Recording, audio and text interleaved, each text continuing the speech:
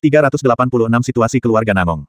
Namun, Jiang Chen itu ada di istana bela diri, dan saya tidak berpikir dia akan keluar sama sekali. Kaisar ke-9 juga kepala istana, jadi menurutku akan sangat sulit untuk menciptakan kebencian baru. Sangguan Seng mengerutkan alisnya. Dia memiliki keinginan yang kuat untuk membunuh Jiang Chen, tetapi dia sangat aman ketika tinggal di istana bela diri, karena Kaisar ke-9 tidak akan memberi mereka kesempatan untuk mendekati Jiang Chen. Meskipun kami tidak bisa, saya tahu seseorang yang bisa, dan dia adalah kandidat yang sempurna. Wu Chong perlahan berdiri dari lengannya dan berbicara dengan cibiran di wajahnya. Oh, bisakah kami tahu siapa yang kamu bicarakan? Tiangang Yi bertanya. Pangeran Kekaisaran. Wu Chong menyipitkan matanya dan mengangkat kelas berat lainnya di dinasti bela diri. Pangeran Kekaisaran. Dia memiliki status bangsawan dan berada di atas kita, pada dasarnya dia dijamin akan menjadi kaisar kekaisaran berikutnya. Dia telah menerobos ke ranah jiwa pertempuran akhir, dan bahkan kita bukan tandingannya. Selain itu, Pangeran Kekaisaran adalah komandan pengawal emas, dan dia mengendalikan ribuan orang. Saya tidak berpikir dia akan membantu kami karena Jiang Chen, tidak ada alasan baginya untuk membantu kami. Sangguan Seng menggelengkan kepalanya. Hampir tidak mungkin mendapatkan pangeran kekaisaran untuk membantu mereka. Dia memiliki ribuan masalah yang harus dia tangani setiap hari. Dia hanya tidak punya waktu untuk bermain-main dengan mereka. Kita tidak perlu memohon pada pangeran kekaisaran, dia akan membantu kita sendiri. Saya memiliki hubungan yang cukup dekat dengannya. Dia adalah pria dengan bakat bawaan yang luar biasa dan kultivasi yang tangguh. Posisinya sangat tinggi, dan dia tidak peduli pada siapa pun. Namun, dia memang memiliki kelemahannya, dan saya yakin Anda semua tahu tentang itu. Wu Chong berkata sambil tertawa. Wanita, kelompok itu menanggapi pada saat yang sama. Tepatnya, Pangeran Kekaisaran dianggap sempurna dalam semua aspek, tapi satu-satunya kelemahannya adalah cintanya pada wanita. Saat ini, dia memiliki 18 istri, dan masing-masing dari mereka adalah wanita cantik yang mempesona, yang terbaik yang bisa ditemukan. Saya menemukan bahwa ada kecantikan yang sempurna mengikuti Jiang Chen, dan Jiang Chen memperlakukannya seperti orang yang paling berharga dalam hidupnya. Nama gadis ini adalah Yan Chen Yu, dan dia terlihat seperti peri. Karakter sederhana dan spiritualnya bukanlah sesuatu yang bisa dibandingkan dengan istri Pangeran Kekaisaran. Jika Pangeran Kekaisaran melihatnya, saya yakin dia akan ingin menjadikan gadis ini istrinya. Dengan ini, pasti akan ada konflik antara Jiang Chen dan Pangeran Kekaisaran, dan karena Jiang Chen telah memberikan ekspresi buruk kepada Kaisar Kekaisaran, jika dia menyinggung Pangeran Kekaisaran, bahkan jika dia memiliki sepuluh nyawa, dia akan melakukannya, masih harus menghadapi kematian di benua timur. Wu Chong menjelaskan dengan ekspresi kejam. Betapa plot yang sempurna, Jiang Chen memiliki perlindungan Kaisar ke-9, jadi tidak mungkin kita bisa menyentuhnya, tetapi jika kita menyeret Pangeran Kekaisaran dan Kaisar Kekaisaran ke dalam ini, itu akan menjadi cerita yang sama sekali berbeda. Mata Sangguan Seng berbinar, dan dia mengacungkan jempol kepada Wu Chong. Haha, serahkan masalah ini padaku. Pangeran Kekaisaran berada dalam budidaya terpencil, dan saya pikir dia akan keluar dalam waktu sekitar setengah bulan. Pada saat itu, saya akan menunjukkan kejutan kepadanya. Chong tertawa terbahak-bahak, seolah-olah rencana jahatnya telah terjadi. Kelompok itu merencanakan rencana jahat mereka dengan menggunakan Yan Chenyu. Namun, tidak ada dari mereka yang tahu bahwa Yan Chenyu bukan lagi gadis lemah yang sama seperti dulu. Sembilan yin meridiannya telah benar-benar terbangun, dan bahkan Wu Chong tidak dapat menyakitinya sekarang. Dia juga memiliki Black Ice jimat misterius, dan Ice Demon King untuk melindunginya. Rencana jahat mereka tidak akan berhasil seperti yang mereka pikirkan. Istana bela diri. Di dalam halaman tunggal, Jiang Chen mondar-mandir. Dia sesekali mengangkat kepalanya dan melihat ke bulan di langit. Bulan setengah tertutup oleh awan gelap, menyebabkan Jiang Chen merasa seolah-olah ada bayangan melayang di benaknya. Dia sebelumnya memasuki kultivasi terpencil, tetapi untuk beberapa alasan yang tidak diketahui, dia merasa sangat frustrasi dan tidak bisa tetap tenang. Sebagai orang suci terhebat di bawah surga, jarang sekali Jiang Chen merasa begitu frustrasi. Dia merasa bahwa sesuatu yang buruk akan terjadi cepat atau lambat. Meskipun dia aman di istana bela diri, sepertinya ada arus cepat yang tersembunyi di bawah permukaan yang tenang. Dia bisa merasakan niat jahat muncul. Untuk pertama kalinya dalam hidupnya, Jiang Chen merasa seolah-olah beberapa situasi dan kondisi akan berada di luar kendalinya, dan dia tidak menyukai perasaan ini, karena dia tidak sendiri lagi. Dia punya teman dan keluarga, dia memiliki emosi seperti manusia normal lainnya dia bukan lagi maniak seni bela diri yang sama yang hanya tahu pertempuran dan pembantaian. Musuh sangat kuat. Jika Jiang Chen masih seorang penyendiri, dia akan pergi ke suatu tempat yang jauh di mana tidak ada yang benar-benar dapat menemukannya, di mana tidak ada yang menjadi ancaman baginya. Tapi sekarang, dia tidak bisa melakukannya lagi. Jika dia pergi, semua teman dan keluarganya akan tetap di sini.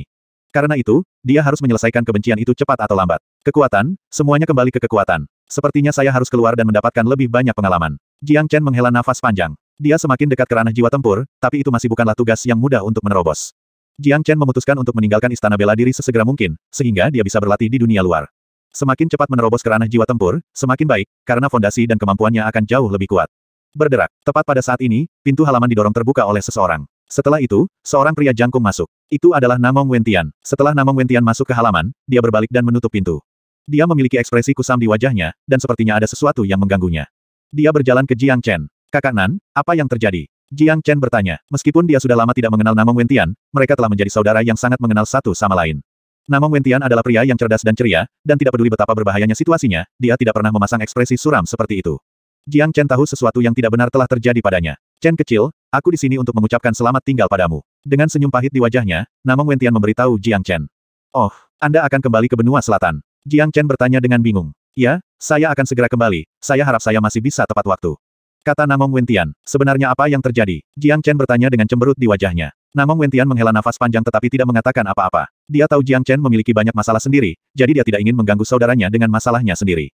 Kakak Nan, kamu adalah saudaraku. Jiang Chen menepuk bahu Namong Wentian. Cara Jiang Chen memanggilnya membuat hatinya terasa hangat. Keluarga saya, keluarga Namong dianggap sebagai salah satu negara adidaya di benua selatan.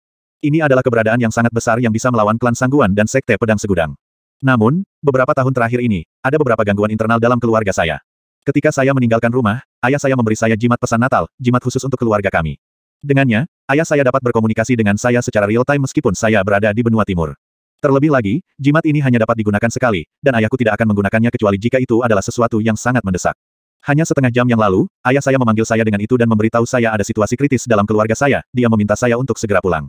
Namong Wentian menjelaskan kepada Jiang Chen dengan alisnya berkerut. Ada satu hal yang tidak dia sebutkan kepada Jiang Chen, dan itu adalah fakta bahwa jimat itu telah meledak setelah dia menerima pesan itu. Itu pertanda keluarganya dalam kondisi yang sangat memprihatinkan. Aku akan pergi bersamamu. Jiang Chen berkata tanpa ragu-ragu. Apa? Kata-kata Jiang Chen menyebabkan mata Namong Wentian berbinar. Tapi segera setelah itu, senyuman pahit menggantikan sensasi mendadak. Chen kecil, aku menghargai kebaikanmu, tapi kamu punya banyak masalah di sini. Aku tidak ingin merepotkanmu dengan masalah keluargaku. Namong Wentian sebenarnya berharap dia bisa mendapatkan bantuan Jiang Chen, karena dia tidak tahu perubahan seperti apa yang terjadi di keluarga Namong saat ini. Dia tidak tahu apa yang harus dia lakukan, dan bahkan jika dia kembali, dengan kultivasi dan kekuatannya, sepertinya tidak banyak yang bisa dia lakukan untuk membantu. Namun, dalam pikirannya, Jiang Chen adalah pria yang mampu mencapai segalanya, dan tidak peduli situasi seperti apa yang dihadapi Jiang Chen, dia akan selalu menciptakan keajaiban. Jika Jiang Chen benar-benar pergi bersamanya, Namong Wentian setidaknya bisa lebih percaya diri. Namun, Jiang Chen sibuk dengan masalahnya sendiri di benua timur, dan jarak antara benua timur dan selatan sangat jauh, dan Namong Wentian juga tidak tahu situasi apa yang sedang dialami keluarganya saat ini. Oleh karena itu, dia tidak ingin merepotkan Jiang Chen. Kakak Nan, kamu adalah saudaraku, aku pasti akan membantumu. Selanjutnya, saya sudah membuat keputusan untuk meninggalkan tempat ini dan melanjutkan pelatihan saya di dunia luar, saya perlu mencari kesempatan sempurna untuk menerobos ke ranah jiwa tempur. Aku bisa mengambil kesempatan ini untuk pergi ke benua selatan bersamamu. Saya mungkin bisa mendapatkan sesuatu yang bermanfaat bagi diri saya sendiri. Jiang Chen berkata sambil tersenyum. Dia telah memutuskan untuk melanjutkan pelatihan di dunia luar, tetapi dia belum memutuskan ke mana dia ingin pergi. Karena sesuatu terjadi di keluarga Namong, dia bisa mengambil kesempatan ini dan pergi ke benua selatan. Dia mungkin bisa menemukan titik puncaknya di sana. Lebih penting lagi, dia dan Namong Wentian adalah saudara laki-laki yang telah melalui banyak bahaya bersama. Ketika seorang saudara sedang menghadapi masa sulit, Jiang Chen tidak bisa hanya duduk diam dan tidak melakukan apa-apa. Chen kecil, terima kasih. Namong Wentian tidak mengatakan apa-apa lagi, dia hanya mengungkapkan rasa terima kasihnya. Sudah cukup, kita adalah saudara, kamu tidak perlu terlalu formal denganku. Jiang Chen menjawab dengan senyuman. Jangan menunda lagi, kita harus pergi sekarang. Jarak antara benua timur dan selatan jauh, dan dengan kecepatan kita, aku tidak tahu berapa lama waktu yang dibutuhkan untuk sampai ke sana. Pada saat itu, saya takut. Kata Namong Wentian dengan ekspresi suram. Tujuan mereka memang sangat jauh, dan tanpa formasi teleportasi, akan memakan banyak waktu untuk mencapai benua selatan, dan ketika mereka tiba, semuanya mungkin sudah terlambat. Sebelum kita pergi, saya perlu mengatur sesuatu. Sambil mengatakan itu, Jiang Chen mengirimkan beberapa pesan melalui sens ilahi dari lautan kesadarannya. Beberapa menit kemudian, beberapa orang datang dari berbagai arah. Han Yan, Yan Chenyu, Big Yellow, dan Wu Jiu, semua temannya telah tiba. Little Chen, saya pikir Anda berada dalam budidaya terpencil. Mengapa Anda meminta kami untuk datang ke sini dengan terburu-buru? Han Yan bertanya, sesuatu terjadi di keluarga Namong, saya akan mengikuti saudara Nan ke benua selatan. Sebelum saya pergi, saya perlu mengatur beberapa hal. Jiang Chen langsung ke pokok permasalahan. Apa, Anda akan pergi ke benua selatan? Kelompok itu berseru pada saat yang sama, terutama Wu Jiu. Wajahnya dipenuhi dengan keterkejutan. Bahkan dengan budidayanya, dia belum pernah pergi ke benua selatan sebelumnya. Biarkan aku mengikutimu. Han Yan, Big Yellow, dan Yan Chenyu semuanya berkata pada saat bersamaan. Mereka tidak peduli seberapa jauh benua selatan itu, mereka hanya ingin tinggal di sebelah Jiang Chen. Mereka juga ingin membantu Namong Wentian. Tidak, saya tidak tahu situasi seperti apa yang akan kita hadapi di sana. Oleh karena itu, hanya aku dan saudara Nan yang akan pergi ke sana, kalian tinggal di Istana Bela Diri, karena itu adalah tempat teraman untuk saat ini. Jika kita semua pergi bersama kita juga pasti akan diperhatikan oleh musuh kita. Setelah kami menyelesaikan masalah di keluarga Namong, saya akan segera kembali. Kata-kata Jiang Chen tidak menyisakan ruang untuk pertanyaan. Han Yan dan Yan Chen tidak punya pilihan selain menganggukkan kepala. Big Yellow terus menggumamkan sesuatu untuk dirinya sendiri di samping, dia benar-benar tidak senang dengan keputusan Jiang Chen. Namun, mereka tahu bahwa begitu Jiang Chen mengambil keputusan, tidak ada yang bisa mereka lakukan. Sebelum aku pergi, ada sesuatu yang ingin kukatakan padamu. Jiang Chen berkata dengan ekspresi serius. Jiang Chen melirik Wu Jiu dulu. Wu Jiu adalah orang yang paling penting saat ini, karena dengan status, posisi, dan kekuatannya, dia dapat memastikan keselamatan teman-teman Jiang Chen. Tetapi pada saat yang sama, Wu Jiu adalah orang yang paling dikhawatirkan Jiang Chen. Kakak Jiu, aku masih ingin mengingatkanmu untuk mengawasi Kaisar Kekaisaran. Saya berharap sebelum saya kembali, Anda dapat tinggal di Istana Bela Diri tanpa berhubungan dengan Kaisar Kekaisaran. Juga, jangan biarkan Yu kecil dan teman-temanku meninggalkan Istana Bela Diri. Jiang Chen mengingatkan dengan ekspresi serius. Meskipun klan Sangguan dan Sekte Pedang Segudang tidak mengalahkan Jiang Chen kali ini, tetapi dengan pendekatan mereka, tidak mungkin bagi mereka untuk menyerah. Mereka pasti akan mencari cara lain untuk membuat Jiang Chen mendapat masalah. Juga, Kaisar Kekaisaran memiliki perasaan tidak enak terhadap Wu Jiu. Oleh karena itu, pilihan terbaik sekarang adalah menahan semua orang di Istana Bela Diri. Yakinlah saudara, saudaramu Jiu akan memastikan mereka semua aman. Wu Jiu memukuli dadanya sendiri saat dia berbicara. Dia masih sangat percaya diri. Baiklah, aku tidak akan terlalu khawatir dengan bantuan saudara Jiu. Jiang Chen mengangguk. Setelah itu, dia berpaling ke Han Yan dan berkata, Saudara Yan, Saudara Nan, kalian berdua ikuti Saudara Jiu dan tinggalkan kami di sini. Ada yang ingin kukatakan pada Little Yu dan Big Yellow. Ketiga pria itu bertukar pandang, lalu meninggalkan halaman. Chen Gege, harap berhati-hati dalam perjalananmu ke benua selatan. Yan Chenyu memberitahu Jiang Chen dengan cemas setelah ketiga pria itu pergi. Jangan khawatir, Yu kecil. Saya mengambil kesempatan ini untuk mengalami benua selatan, dan saya mungkin menemukan kesempatan untuk menerobos ke ranah jiwa tempur. Juga, saudara Nan sedang menghadapi masalah, jadi saya perlu membantunya. Sebenarnya, aku mengkhawatirkanmu di sini. Meskipun istana bela diri tampaknya aman untuk saat ini, situasinya dapat berubah kapan saja. Aku akan meninggalkan Raja Iblis Es bersamamu, itu bisa memberimu bantuan besar di saat-saat kritis. Setelah mengatakan itu, Jiang Chen melepaskan Raja Iblis Es dari cincin penyimpanannya. Dia dengan sengaja menunggu Wu Jiu pergi sebelum mengambil Raja Iblis Es, karena dia tidak ingin Wu Jiu salah paham padanya. Wu Jiu masih percaya bahwa hubungannya dengan Kaisar Kekaisaran harmonis, jadi Jiang Chen harus merahasiakannya. Menguasai, Raja Iblis Es membungkuk ke arah Jiang Chen dan Yan Chenyu. Ice Demon, selama periode di mana aku tidak ada di sini, kamu harus tinggal dengan Little Yu dan mendengarkan perintahnya. Jiang Chen memberitahu Raja Iblis Es. Dimengerti, Raja Iblis Es menganggukkan kepalanya. Setelah itu, itu hanya berubah menjadi sinar putih dan memasuki cincin penyimpanan Yan Chen Yu. Sobat, bagaimana kamu bisa pergi ke benua selatan tanpa guk-guk tuan ini? Bawalah aku bersamamu, aku ingin merasakan benua selatan juga. Big Yellow meludahkan lidahnya dan menatap Jiang Chen dengan tatapan memohon. Tidak mungkin, kaulah yang benar-benar tidak bisa kubawa bersamaku. Jiang Chen langsung menolaknya. Sial, Kenapa? Big Yellow benar-benar tidak senang dengan keputusan Jiang Chen. Apa yang dimaksud Jiang Chen dengan kata-katanya? Ini adalah diskriminasi. Kamu memiliki indera yang hebat, dan kamu ahli dalam semua jenis formasi mistik dan maju, dan kamu juga memiliki beberapa trik rahasia. Anda adalah senjata rahasia terbesar kami, jadi saya membutuhkan Anda untuk tetap di belakang dan menangani tugas yang paling penting. Tolong jangan mengecewakan saya. Jiang Chen menepuk kepala Big Yellow. Guk-guk ini adalah keberadaan yang luar biasa, dan dia benar-benar dapat membantu pada saat yang paling kritis. Jika itu pendapat jujurmu tentang aku, itu membuktikan bahwa kamu adalah orang yang sangat bijak. Guk-guk tuan ini adalah makhluk yang akan mencapai hal-hal hebat. Ketika Big Yellow mendengar tentang pentingnya dirinya, sikapnya segera berubah. Menurut apa yang dikatakan Jiang Chen, dia akan menjadi karakter utama di sini setelah Jiang Chen pergi. Jika kamu tidak ada yang bisa dilakukan sekarang, cepatlah pergi tidur, dan masuk ke ranah jiwa tempur.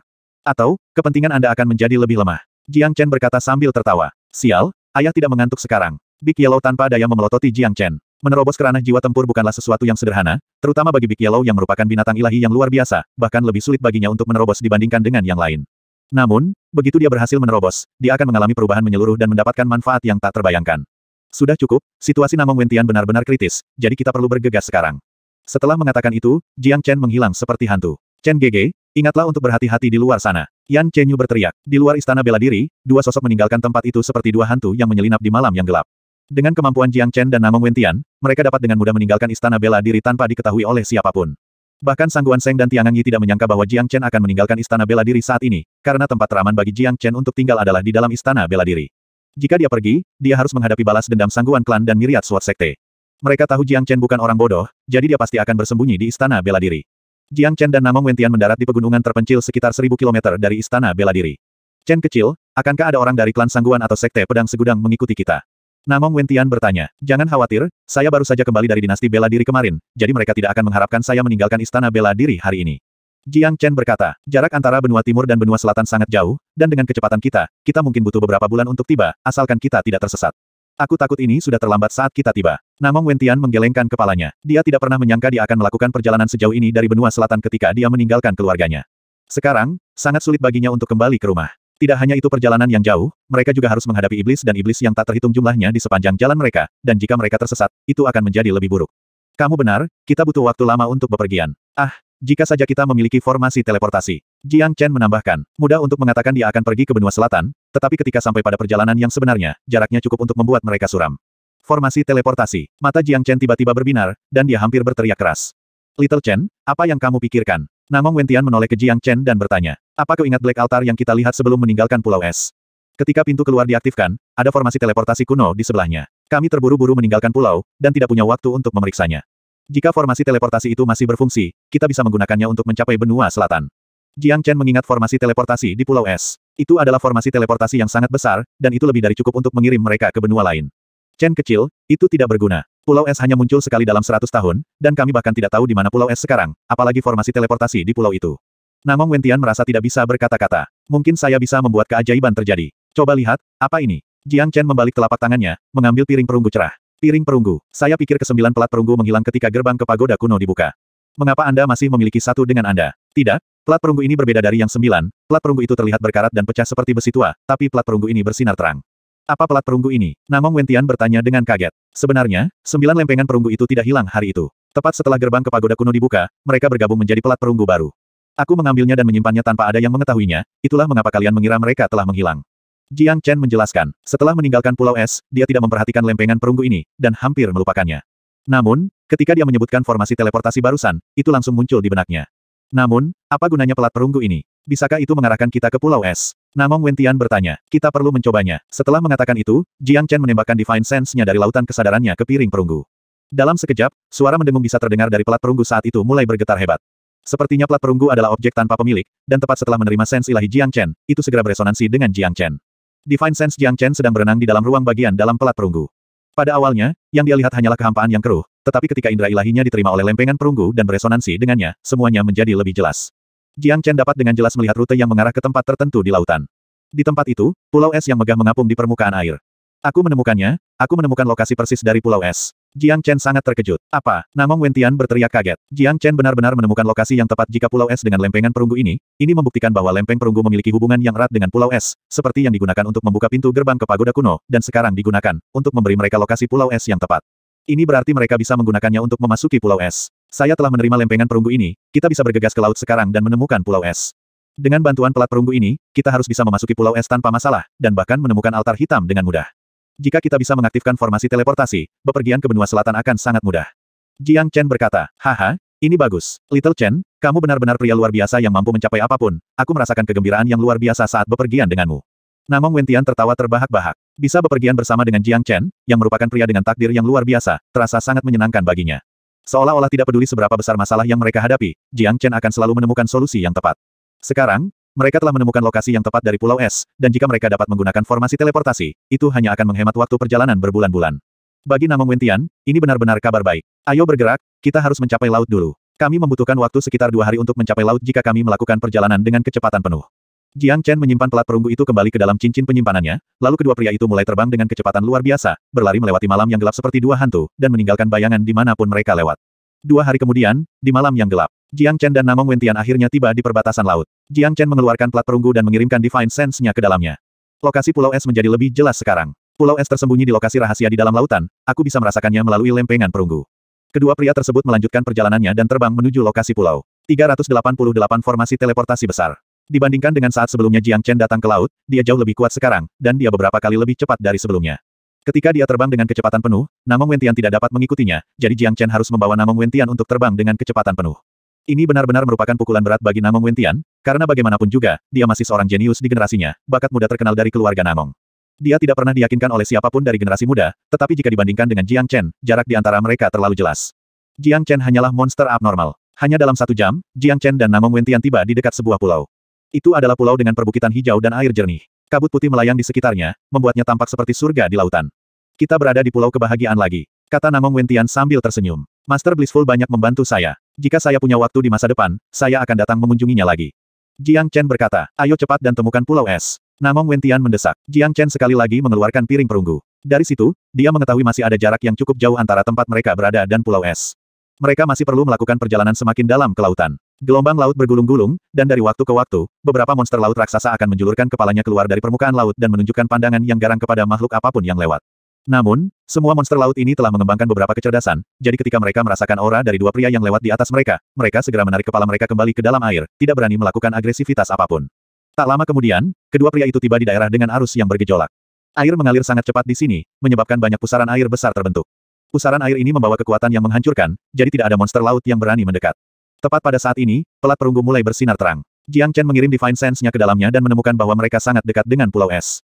Kami di sini, Pulau Es tersembunyi di bawah area ini. Mari selami, tapi hati-hati dengan pusaran air itu. Mata Jiang Chen berbinar. Kedua pria itu menutupi diri mereka dengan penghalang energi Yuan, lalu mereka menyelam ke dalam air. Setelah menghabiskan beberapa waktu berenang di sekitar area tersebut, mereka tidak dapat menemukan tanda-tanda Pulau Es. Little Chen, ini tidak mungkin benar. Pulau Es sangat besar, kita seharusnya sudah menemukannya sekarang, tapi tidak ada apa-apa di sini. Lagi pula, kupikir daerah ini akan membeku, karena Pulau Es sangat dingin. Namong Wentian bingung. Pulau Es dalam mode sembunyi-sembunyi. Itu hanya muncul sekali dalam seratus tahun, itulah mengapa daerah ini tidak membeku dan kita tidak bisa melihatnya. Jika kita bisa melihatnya dengan mata terbuka, orang lain pasti sudah menemukannya sebelum kita. Sekarang, kita harus menggunakan pelat perunggu. Jiang Chen mengangkat pelat perunggu, lalu melepaskan sinar terang yang menutupi seluruhnya. Berdengung. Suara mendengung yang memekakan telinga segera datang dari pelat perunggu, dan segera setelah itu, pelat perunggu itu membuat sambungan dengan pulau es. Kemudian, gerbang emas tiba-tiba muncul tepat di depan Jiang Chen dan Namong Wentian. Tepat ketika gerbang emas ini muncul, semua air di sekitarnya didorong kembali, dan zona vakum terbentuk. Ayo pergi. Mata Jiang Chen berbinar. Dia memimpin dan memasuki gerbang emas, Namong Wentian dengan cepat mengikutinya.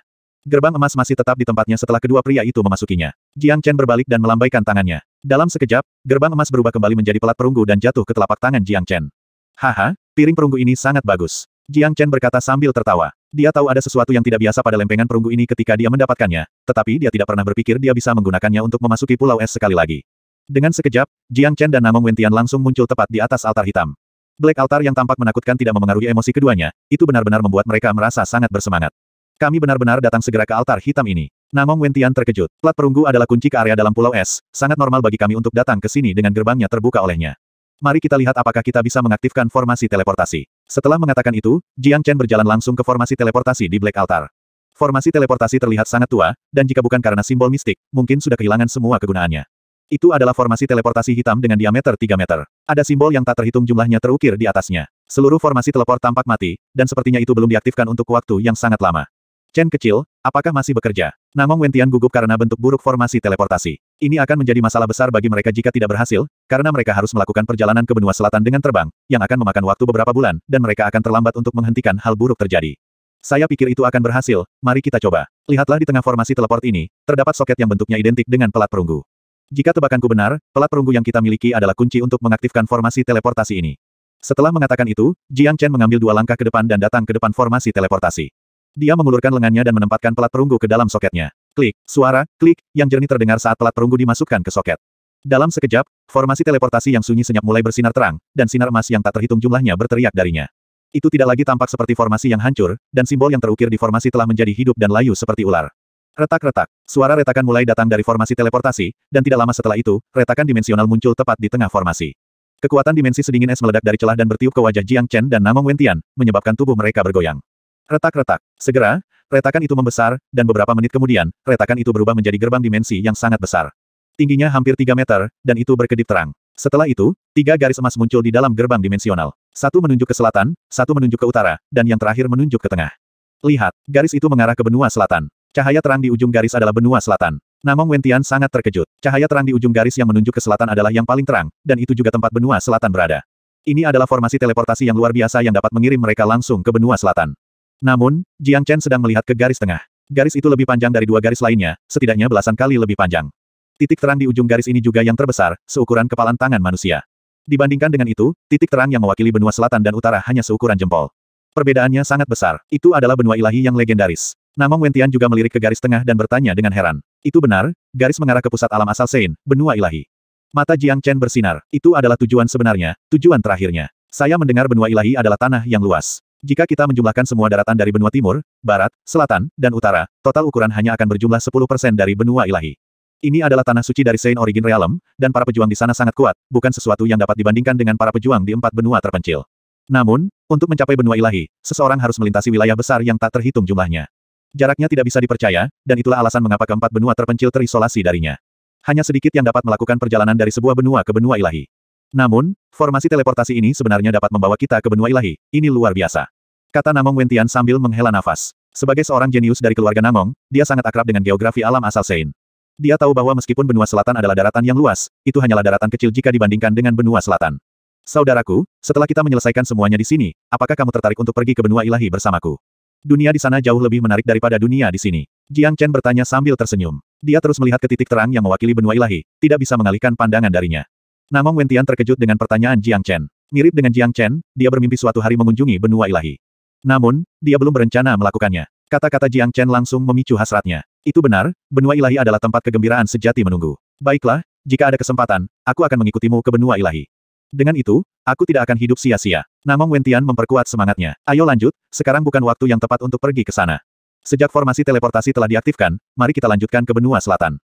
Dengan pikiran, pelat perunggu jatuh kembali ke telapak tangan Jiang Chen, lalu dia melemparkannya ke titik terang yang mewakili benua selatan. Swoosh! Dalam sekejap, Angin kencang bertiup, kemudian kekuatan dimensi yang kuat menutupi Jiang Chen dan Namong Wentian, menyebabkan tubuh mereka terasa jauh lebih ringan, dan mengangkatnya. Mereka kemudian dikirim ke gerbang dimensi. Dengan sekejap, pemandangan di depan mereka langsung berubah. Jiang Chen dan Namong Wentian muncul di tengah-tengah terowongan dimensi, dan pelat perunggu terus melayang 3 meter dari mereka. Swoosh! Angin kencang terus bertiup. Namong Wentian melirik turbulensi dimensi beraneka ragam di sekitarnya, dan tidak bisa menahan gemetar. Sial, jadi ini turbulensi dimensional. Ini luar biasa. Hanya tornado dimensional saja sudah lebih dari cukup untuk membunuhku. Tanpa perlindungan terowongan ini, kita akan mati atau tersesat dalam turbulensi ini. Namong Wentian terpukul dengan emosi campur aduk. Ini adalah pertama kalinya dia berjalan di antara dimensi dan mengalami lingkungan dimensi misterius. Dibandingkan dengan Namong Wentian, Jiang Chen sangat tenang. Dengan pengalamannya sebagai orang suci terhebat di bawah surga, dia sudah terbiasa bepergian melintasi dimensi yang berbeda. Ketika dia berada di puncak sebelumnya, dia bahkan tidak membutuhkan formasi teleportasi. Dengan pergeseran dimensi, dia dapat dengan mudah melakukan perjalanan beberapa juta kilometer dalam sekejap. Dimensi menyilang hanyalah sepotong kue baginya. Setelah Anda menguasai hukum dimensi dan menerobos ke ranah Raja Tempur, Anda tidak akan merasa kagum.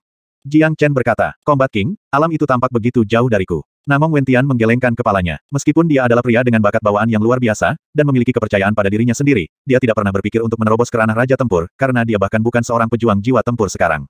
Kesenjangan antara kultivasinya saat ini dan ranah Raja Tempur terlalu besar. Tidak sejauh yang Anda bayangkan. Ingat, ada jalan panjang di depan kita, dan bahkan jika kita menerobos ke ranah Raja Tempur, itu baru permulaan. Jiang Chen berkata, Namong Wentian bukanlah pria tanpa aspirasi, dan dia bukanlah pria yang kurang percaya diri, dia hanya kurang pengalaman, karena dia belum melihat dunia. Seseorang yang belum pernah pergi ke benua ilahi sebelumnya tidak memiliki cukup pengalaman dan pengetahuan tentang betapa besarnya dunia ini sebenarnya. 389 Benua Selatan Di dalam terowongan dimensi, pelat perunggu mengambang di depan keduanya sebagai pemandu sementara Jiang Chen dan Namong Wentian diam-diam duduk di sana, bergerak maju dengan bantuan kekuatan dimensi. Little Chen, berapa lama waktu yang dibutuhkan sebelum kita mencapai benua selatan? Namong Wentian bertanya, kita perlu melintasi wilayah yang luas untuk melakukan perjalanan dari benua timur ke benua selatan. Bahkan dengan bantuan formasi teleportasi, saya pikir itu akan memakan waktu setidaknya 4 jam. Terowongan dimensi ini kuat, itu bisa bertahan sampai kita tiba di benua selatan. Jiang Chen berkata, 4 jam. Sial, kamu tidak tahu berapa lama waktu yang dibutuhkan ayah untuk melakukan perjalanan dari benua selatan ke benua timur, dan aku hampir membuat diriku terbunuh. Untungnya, kami memiliki formasi teleportasi ini. Kata Namong Wentian dengan emosi campur aduk. Dibandingkan dengan kecepatan formasi teleportasi ini, dia seperti kura-kura merangkak. Kakak Nan, ceritakan tentang keluargamu. Jiang Chen bertanya dengan penuh minat. Karena dia telah memutuskan untuk membantu Namong Wentian, dia perlu tahu lebih banyak tentang keluarganya. Keluarga kami tidak memiliki sejarah panjang di benua selatan, jadi yayasan kami tidak sekuat negara adidaya lainnya. Menurut apa yang ayah saya katakan, keluarga Namong hanya memiliki sejarah sekitar 100 tahun di benua selatan. Kata Namong Wentian, 100 tahun sejarah. Jiang Chen terkejut sesaat. Dia selalu tersentuh dengan waktu ini. Seolah-olah sebagian besar perubahan besar di alam asal suci terjadi seratus tahun yang lalu, tahun ketika dia mengayunkan pedangnya ke surga dan mendobrak gerbang ke alam dewa, menyebabkan seluruh penghalang alam asal suci menjadi perubahan. Seluruh struktur alam telah mengalami banyak perubahan karena tahun itu, hari itu. Benar, seratus tahun yang lalu, kakek saya datang ke benua selatan, dan dengan bakatnya yang luar biasa, dia membangun fondasi yang sangat besar untuk keluarga Namong. Setelah itu, dia memutuskan untuk menjadikan tanah itu sebagai rumah permanennya, kemudian dia menikah dan punya banyak anak. Selain itu, keluarga Namong memiliki harta karun yang luar biasa yang tidak diketahui orang luar. Kakek saya membawanya bersamanya ketika dia tiba di benua selatan, dan bahkan saya tidak tahu seperti apa harta karun itu, saya hanya kakek saya menyembunyikannya di tempat rahasia di dalam keluarga Namong dan memblokir semua akses ke sana dengan mendalam formasi matahari. Namun, harta karun tidak memiliki kegunaan yang kuat, satu-satunya fungsinya adalah menghasilkan sembilan air suci matahari dalam jumlah tertentu setiap tahun, dan karena sembilan air suci surya, keluarga Namong telah meningkat secara tiba-tiba hanya dalam beberapa lusin, bertahun-tahun, menjadi salah satu negara adidaya sejati di benua selatan. Namong Wentian melanjutkan, karena keluarga Namong hanya memiliki sejarah seratus tahun, dia masih bisa mengingat semuanya dengan mudah.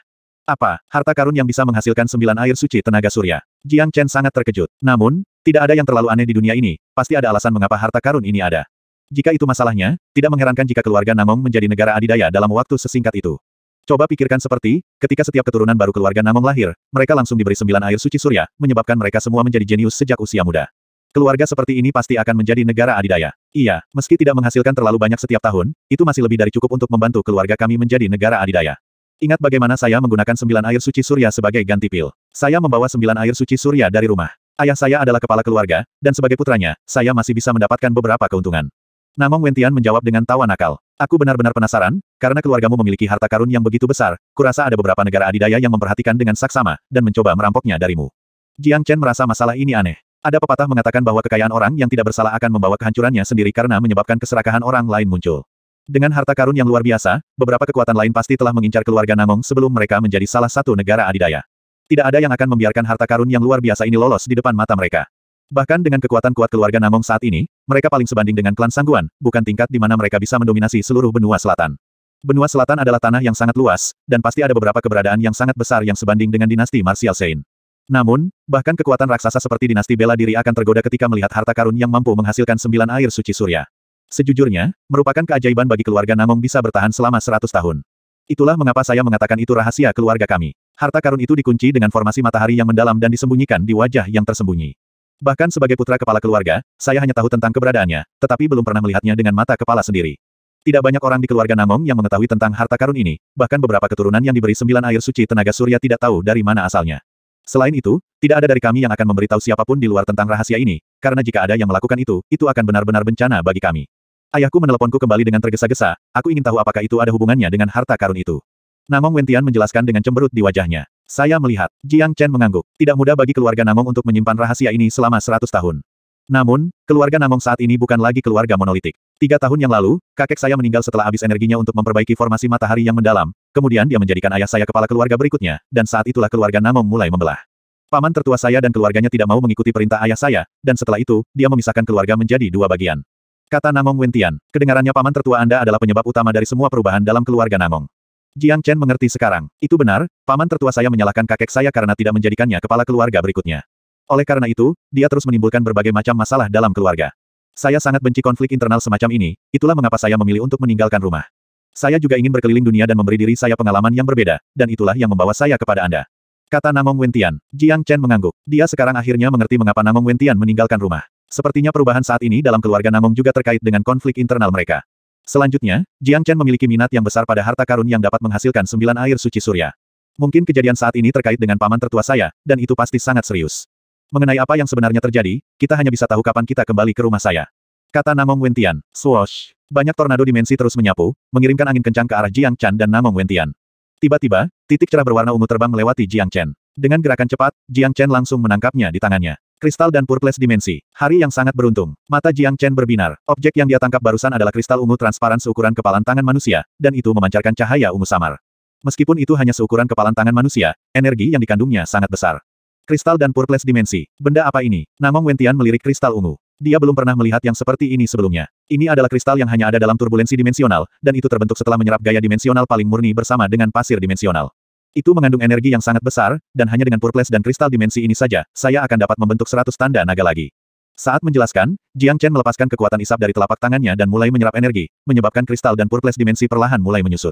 Namong Wentian tahu Jiang Chen menyerap harta langka ini, jadi dia hanya duduk tanpa mengatakan apa pun. Setengah jam kemudian, dimensi purplesan kristal telah sepenuhnya diserap oleh Jiang Chen. Banyak tanda naga merah darah bisa dilihat melayang di sekitar tubuhnya, masing-masing terlihat seperti naga kecil yang nyata, memberi Jiang Chen gambaran mistis. Duduk di sebelah Jiang Chen, Namong Wentian dapat dengan jelas merasakan aura Jiang Chen jauh lebih kuat dibandingkan sebelumnya. Swoosh! Jiang Chen tiba-tiba membuka matanya, menyebabkan dua sinar terang keluar dan beberapa riak muncul di depannya. Tepat pada saat ini, energi yuannya bergulir seperti gelombang laut yang ganas di laut Kinya. Kristal ungu telah memberinya 100 tanda naga baru, menyebabkan dia memiliki total 4.600 tanda naga, dan satu langkah lebih dekat ke ranah jiwa tempur. Haha, ini sangat memuaskan. Jiang Chen tertawa terbahak-bahak, dia merasa sangat beruntung hari ini. Dimensional purplesan kristal adalah barang yang sangat langka, sangat jarang seseorang bisa menghabiskan 100 tahun dalam turbulensi dimensional dan masih tidak menemukan apa-apa. Juga, siapa yang akan menghabiskan begitu banyak waktu dalam turbulensi dimensional? Itu jelas hanya tindakan murni mendekati kematian. Jiang Chen hanyalah seorang pria dengan surga yang menantang keberuntungan. Kristal Purples dan dimensi baru saja terbang melewatinya, begitu saja, memberinya seratus tanda naga lagi. Jika dia ingin mendapatkan jumlah energi yang sama dengan menyerap jiwa iblis, dia tidak tahu berapa banyak binatang iblis yang harus dia bunuh. Sialan, ini adalah harta yang bagus. Mari kita perhatikan dengan seksama, mungkin ada lebih banyak dari mereka yang datang. Wajah Namong Wentian dipenuhi dengan kegembiraan. Dia terus melihat sekeliling tanpa berani mengedipkan matanya, tapi yang bisa dia lihat hanyalah arus dimensional yang beraneka ragam. Tidak ada lagi dimensi purples dan kristal yang dapat ditemukan. Berhentilah melihat-lihat, kamu akan menemukannya jika kamu cukup beruntung. Jiang Chen menepuk bahu Namong Wentian. Jika dimensi purples dan kristal dapat ditemukan dalam jumlah besar, dunia akan berantakan. Empat jam berlalu, dan Namong Wentian pergi dengan wajah pahit pada akhirnya. Dia dipaksa untuk menerima keberuntungan Jiang Chen yang luar biasa, itu benar-benar keajaiban baginya untuk mendapatkan kristal dan purples dimensi itu, tapi sayang sekali, keajaiban yang sama tidak akan pernah terjadi padanya. Berdengung. Tiba-tiba, terowongan dimensi mulai bergetar hebat. Jiang Chen dan Namong Wentian dengan cepat menstabilkan tubuh mereka, dan segera, mereka melihat cahaya terang tidak jauh dari mereka. Angin yang datang dari tornado dimensional menjadi lebih kuat juga. Kita hampir sampai. Jiang Chen mengingatkan. Tepat setelah kata-kata Jiang Chen keluar dari mulutnya, kata-kata itu sampai di ujung terowongan dimensi. Jiang Chen kemudian segera meraih plat perunggu di depannya. Ini adalah harta berharga yang tidak akan pernah hilang oleh Jiang Chen. Kedua pria itu merasakan kekuatan menarik tubuh mereka, dan tidak dapat mengendalikan tubuh mereka, mereka terlempar dari tempat mereka berdiri. Bam, bam, langit cerah dan cerah. Tiba-tiba, beberapa suara, ledakan, bergema di udara tipis. Dengan sepersekian detik, dua benda meluncur dari udara tipis, dan sepertinya keduanya tidak dapat mengendalikan diri, saat mereka terlempar ke tanah, menyebabkan dua kawah besar muncul di permukaan datar. Apa itu? Seseorang berteriak dan mulai berjalan perlahan menuju lubang. Ini adalah area terluar dari pegunungan yang indah. Banyak karavan sedang beristirahat di sekitar daerah itu, dan ini adalah pertama kalinya mereka melihat beberapa benda tak dikenal jatuh dari langit. Batuk uhuk sial, tidak bisakah lebih lembut? Kutukan amukan bisa terdengar dari dasar kawah. Setelah itu, seorang pria dengan wajah penuh debu memanjat keluar. Saat memanjat keluar dari kawah besar, Namong Wentian memaki-maki dengan keras. Orang ini jelas tidak siap, dan tidak memiliki pengalaman sama sekali, itu sebabnya dia tertutup debu. Dibandingkan dengannya, citra Jiang Chen jauh lebih baik. Meskipun dia juga telah terlempar ke tanah, dia hanya terlihat tenang. Setelah Namong Wentian keluar dari kawah, dia segera menemukan ada sesuatu yang tidak benar, karena dia disambut oleh pandangan bertanya yang tak terhitung jumlahnya. Sialan, apa yang kamu lihat? Nyah, Namong Wentian benar-benar marah, dia dalam suasana hati yang buruk setelah dilempar ke tanah seperti itu, dan sekarang ada begitu banyak orang yang memandangnya seolah-olah dia adalah monyet. Dia tidak bisa menahannya. Kenapa kalian masih menatapku? Belum pernah melihat pria setampan itu. Brengsek. Namong Wentian terus mengutuk para pengamat itu, dan sambil menyingkirkan debu di tubuhnya, dia berjalan menjauh dari tempat dia mendarat. Uhuk-uhuk. Jiang Chen samar-samar batuk beberapa kali dan dengan cepat menjaga jarak dari Namong Wentian, berpura-pura tidak mengenal pria itu. Setidaknya, dia berpura-pura tidak akrab dengan Namong Wentian. Meskipun Namong Wentian adalah tuan muda dari keluarga Namong, dia hanya tidak ingin menghidupkan citra itu. Para pengamat tidak bangun dari keterkejutan mereka sampai keduanya berjalan jauh. Siapa idiot itu? Apakah ada yang salah dengan otaknya? Apa? Idiot baru saja jatuh dari langit. Jika bukan karena ada sesuatu yang salah dengan otaknya, aku akan memberinya tamparan sekarang. Jauh dari tempat kejadian, Namong Wentian mengguncang tubuhnya dengan energi Yuan dan menyingkirkan semua kotoran. Setelah itu, dia mengeluarkan satu set pakaian hijau dari cincin penyimpanannya dan dengan cepat menggantinya. Baru sekarang dia pulih dari kejatuhan yang berantakan. Sial, Terowongan dimensi itu tidak dimaksudkan untuk manusia. Jatuhnya barusan itu terlalu keras. Namong Wentian berkata dengan suram. Saya hanya bisa berkata Anda tidak memiliki pengalaman sama sekali. Jiang Chen menanggapi dengan senyum mengejek. Aku akhirnya kembali. Tapi, kita berada di perbatasan benua selatan, kupikir kita perlu melakukan perjalanan satu atau dua hari lagi untuk mencapai keluarga Namong. Namong Wentian melihat dengan seksama ke daerah sekitarnya. Iklim di benua selatan sangat berbeda dengan benua timur. Meskipun panas, udaranya cukup lembab dan penuh dengan energi yuan alami, ini adalah tempat yang menyenangkan untuk ditinggali. Jiang Chen mengangguk dan berkata, meskipun iklim antara benua timur dan benua selatan berbeda, namun energi alam Yuan hampir sama. Baginya, atau pembudidaya lainnya, sedikit perbedaan dalam iklim tidak banyak mempengaruhi mereka. Tapi, ada banyak iblis dan iblis di benua selatan. Kami manusia dan mereka tidak pernah rukun, dan sering terjadi pertempuran di mana beberapa setan mengepung kota-kota manusia. Tempat ini jauh lebih berantakan daripada benua timur. Kata Namong Wentian, ini adalah dunia yang kejam. Jiang Chen menjawab dengan senyuman. Ayo pergi, waktunya pulang. Namong Wentian melihat ke arah keluarga Namong, lalu kedua pria itu berubah menjadi dua jejak cahaya dan mulai terbang dengan kecepatan luar biasa. Saat ini, di dalam kota yang paling dekat dengan pegunungan tempat Jiang Chen dan Namong Wentian tiba, seorang pria muda sedang beristirahat di halaman dengan mata tertutup. Dia mengenakan pakaian putih, dan tampak berusia awal dua puluhan. Di sampingnya, seekor elang putih yang perkasa tergeletak di lantai, sepertinya diliputi kebosanan. Tiba-tiba, burung bangkai itu berdiri dan melemparkan matanya yang cerah ke kejauhan. Eagle, kamu sudah menemukan saudara Wentian. Mata pemuda berbaju putih itu berbinar. Kau, elang putih menjerit nyaring, lalu mengayunkan sayapnya dan terbang ke langit. Di sisi lain, wajah pemuda itu menunjukkan ekspresi gembira. Tanpa ragu-ragu, dia melangkah ke langit dan berdiri di atas punggung elang, lalu mereka terbang keluar kota bersama-sama. Di kejauhan, Jiang Chen dan Namong Wentian yang berada di tengah penerbangan mendengar teriakan elang yang keras. Suara itu langsung mengejutkan Namong Wentian. Dia dengan cepat menoleh ke arah asal suara itu, lalu melihat titik putih dengan cepat mendekati mereka. Itu elang putih keluargaku. Namong Wentian sangat senang. Ia sangat akrab dengan elang putih ini, yang secara khusus dibesarkan oleh keluarga Namong. Tidak hanya memiliki kekuatan serangan yang kuat, ia juga bisa terbang dengan kecepatan luar biasa. Yang terpenting, elang putih ini memiliki kemampuan khusus, ia dapat dengan mudah melacak siapa pun. Sama seperti sekarang, elang putih telah merasakan aura Namong Wentian, dan langsung mendatanginya. Segera, elang putih tiba di depan Namong Wentian. Itu jelas memiliki hubungan dekat dengannya, karena mengeluarkan teriakan kegembiraan saat melihatnya. Saudara Wentian, kamu akhirnya kembali. Pemuda berbaju putih itu sangat senang melihat Namong Wentian. Dia segera meninggalkan punggung elang putih dan berjalan ke Namong Wentian. Onyang, kenapa kamu di sini? Namong Wentian terkejut. Dia tidak pernah berharap untuk bertemu dengan anggota keluarga segera setelah kembali ke benua selatan. Saudaraku Wentian, kamu sudah pergi terlalu lama kali ini, kurasa kamu pasti pergi ke suatu tempat yang jauh, itulah mengapa aku membawa elang putih ke sini untuk menunggumu di kota itu. Ini masih belum terlambat, aku akan segera memberitahu kepala keluarga. Namong Wonyang mengeluarkan jimat pesan emas dan menghancurkannya dengan energi yuannya, menyebabkannya berubah menjadi jejak cahaya kemasan dan menghilang dalam sekejap. Saudara Wentian, ini, Namong Wonyang menoleh ke Jiang Chen dan bertanya, Izinkan saya memperkenalkan Anda, ini adalah saudara laki-laki saya yang telah melalui hidup dan mati bersama dengan saya. Jiang Chen, ini sepupu saya, Namong Wonyang. Namong Wentian memperkenalkan keduanya satu sama lain. Setelah itu, dia meninju bahu Namong Wonyang ringan dan berkata, tidak buruk. Sekarang kau adalah prajurit inti pertengahan ilahi. Hehe, tapi aku masih jauh dari saudara Wentian. Namong Wonyang menanggapi dengan tertawa. Keduanya jelas dekat. Dasar brengsek. Saudara-saudara ini jelas senang bertemu satu sama lain. Saudara Wentian, sesuatu yang besar sedang terjadi di rumah, kita harus segera kembali sekarang. Ekspresi Namong Wonyang menjadi serius. Wonyang, apa yang terjadi? Ayah saya hanya meminta saya untuk kembali secepat mungkin, tetapi dia tidak menyebutkan hal lain. Namong Wentian bertanya dengan tidak sabar. Itu adalah paman tertua, dia tidak bisa melupakan fakta bahwa kakek menjadikan ayahmu kepala keluarga berikutnya. Setelah dia pergi dengan keluarganya, dia sekarang telah kembali, dan dia ingin kepala keluarga menyerahkan posisinya. Kata Namong Wonyang dengan marah. Aku tahu itu ada hubungannya dengan Namong Yunzeng, orang itu tidak akan berhenti membuat masalah. Namun, tidak akan mudah baginya untuk memperebutkan posisi kepala keluarga. Namong Wentian dengan dingin mendengus. Kali ini berbeda, karena istana sungai yang mendalam terlibat. Kata Namong Wonyang. Apa, mengapa istana sungai yang mendalam ingin melibatkan diri dalam konflik internal keluarga Namong? Apakah karena harta kakek? Namong Wentian berseru. Apa itu istana sungai yang mendalam? Jiang Chen bertanya, Istana Sungai yang mendalam adalah sekte nomor satu di benua selatan, dan statusnya sama dengan dinasti bela diri di benua timur.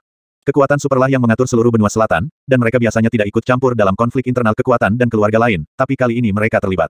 Saya tidak berpikir alasan di balik mereka melakukannya sederhana. Alis Namong Wentian berkerut erat. Apa yang dikatakan saudara Wentian benar, ketika negara adidaya seperti Istana Sungai yang mendalam memutuskan untuk menangani konflik internal keluarga Namong, pasti ada motif besar di baliknya.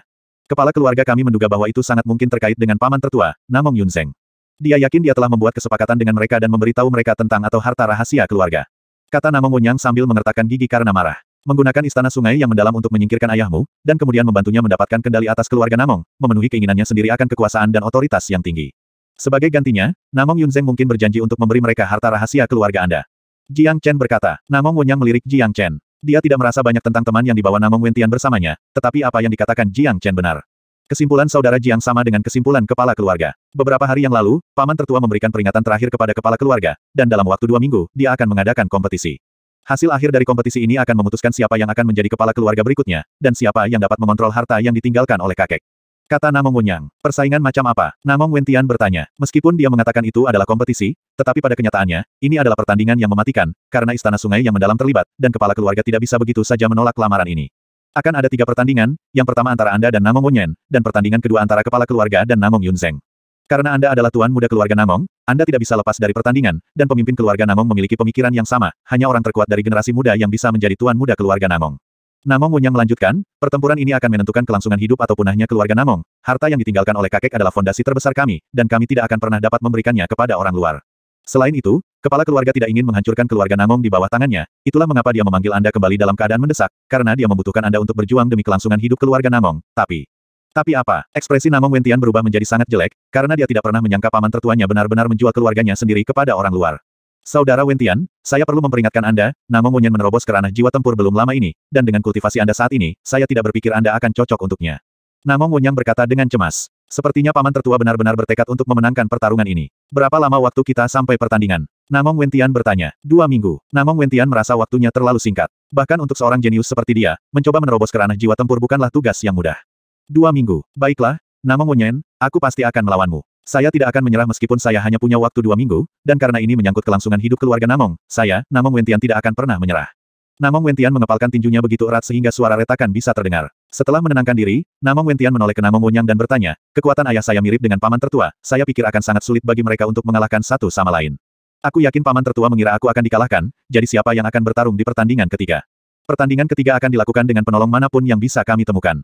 Saya yakin Namong Yunzeng telah menemukan seorang pejuang yang tangguh untuk membantunya, dan orang itu mungkin seorang pejuang yang perkasa dari istana sungai yang mendalam.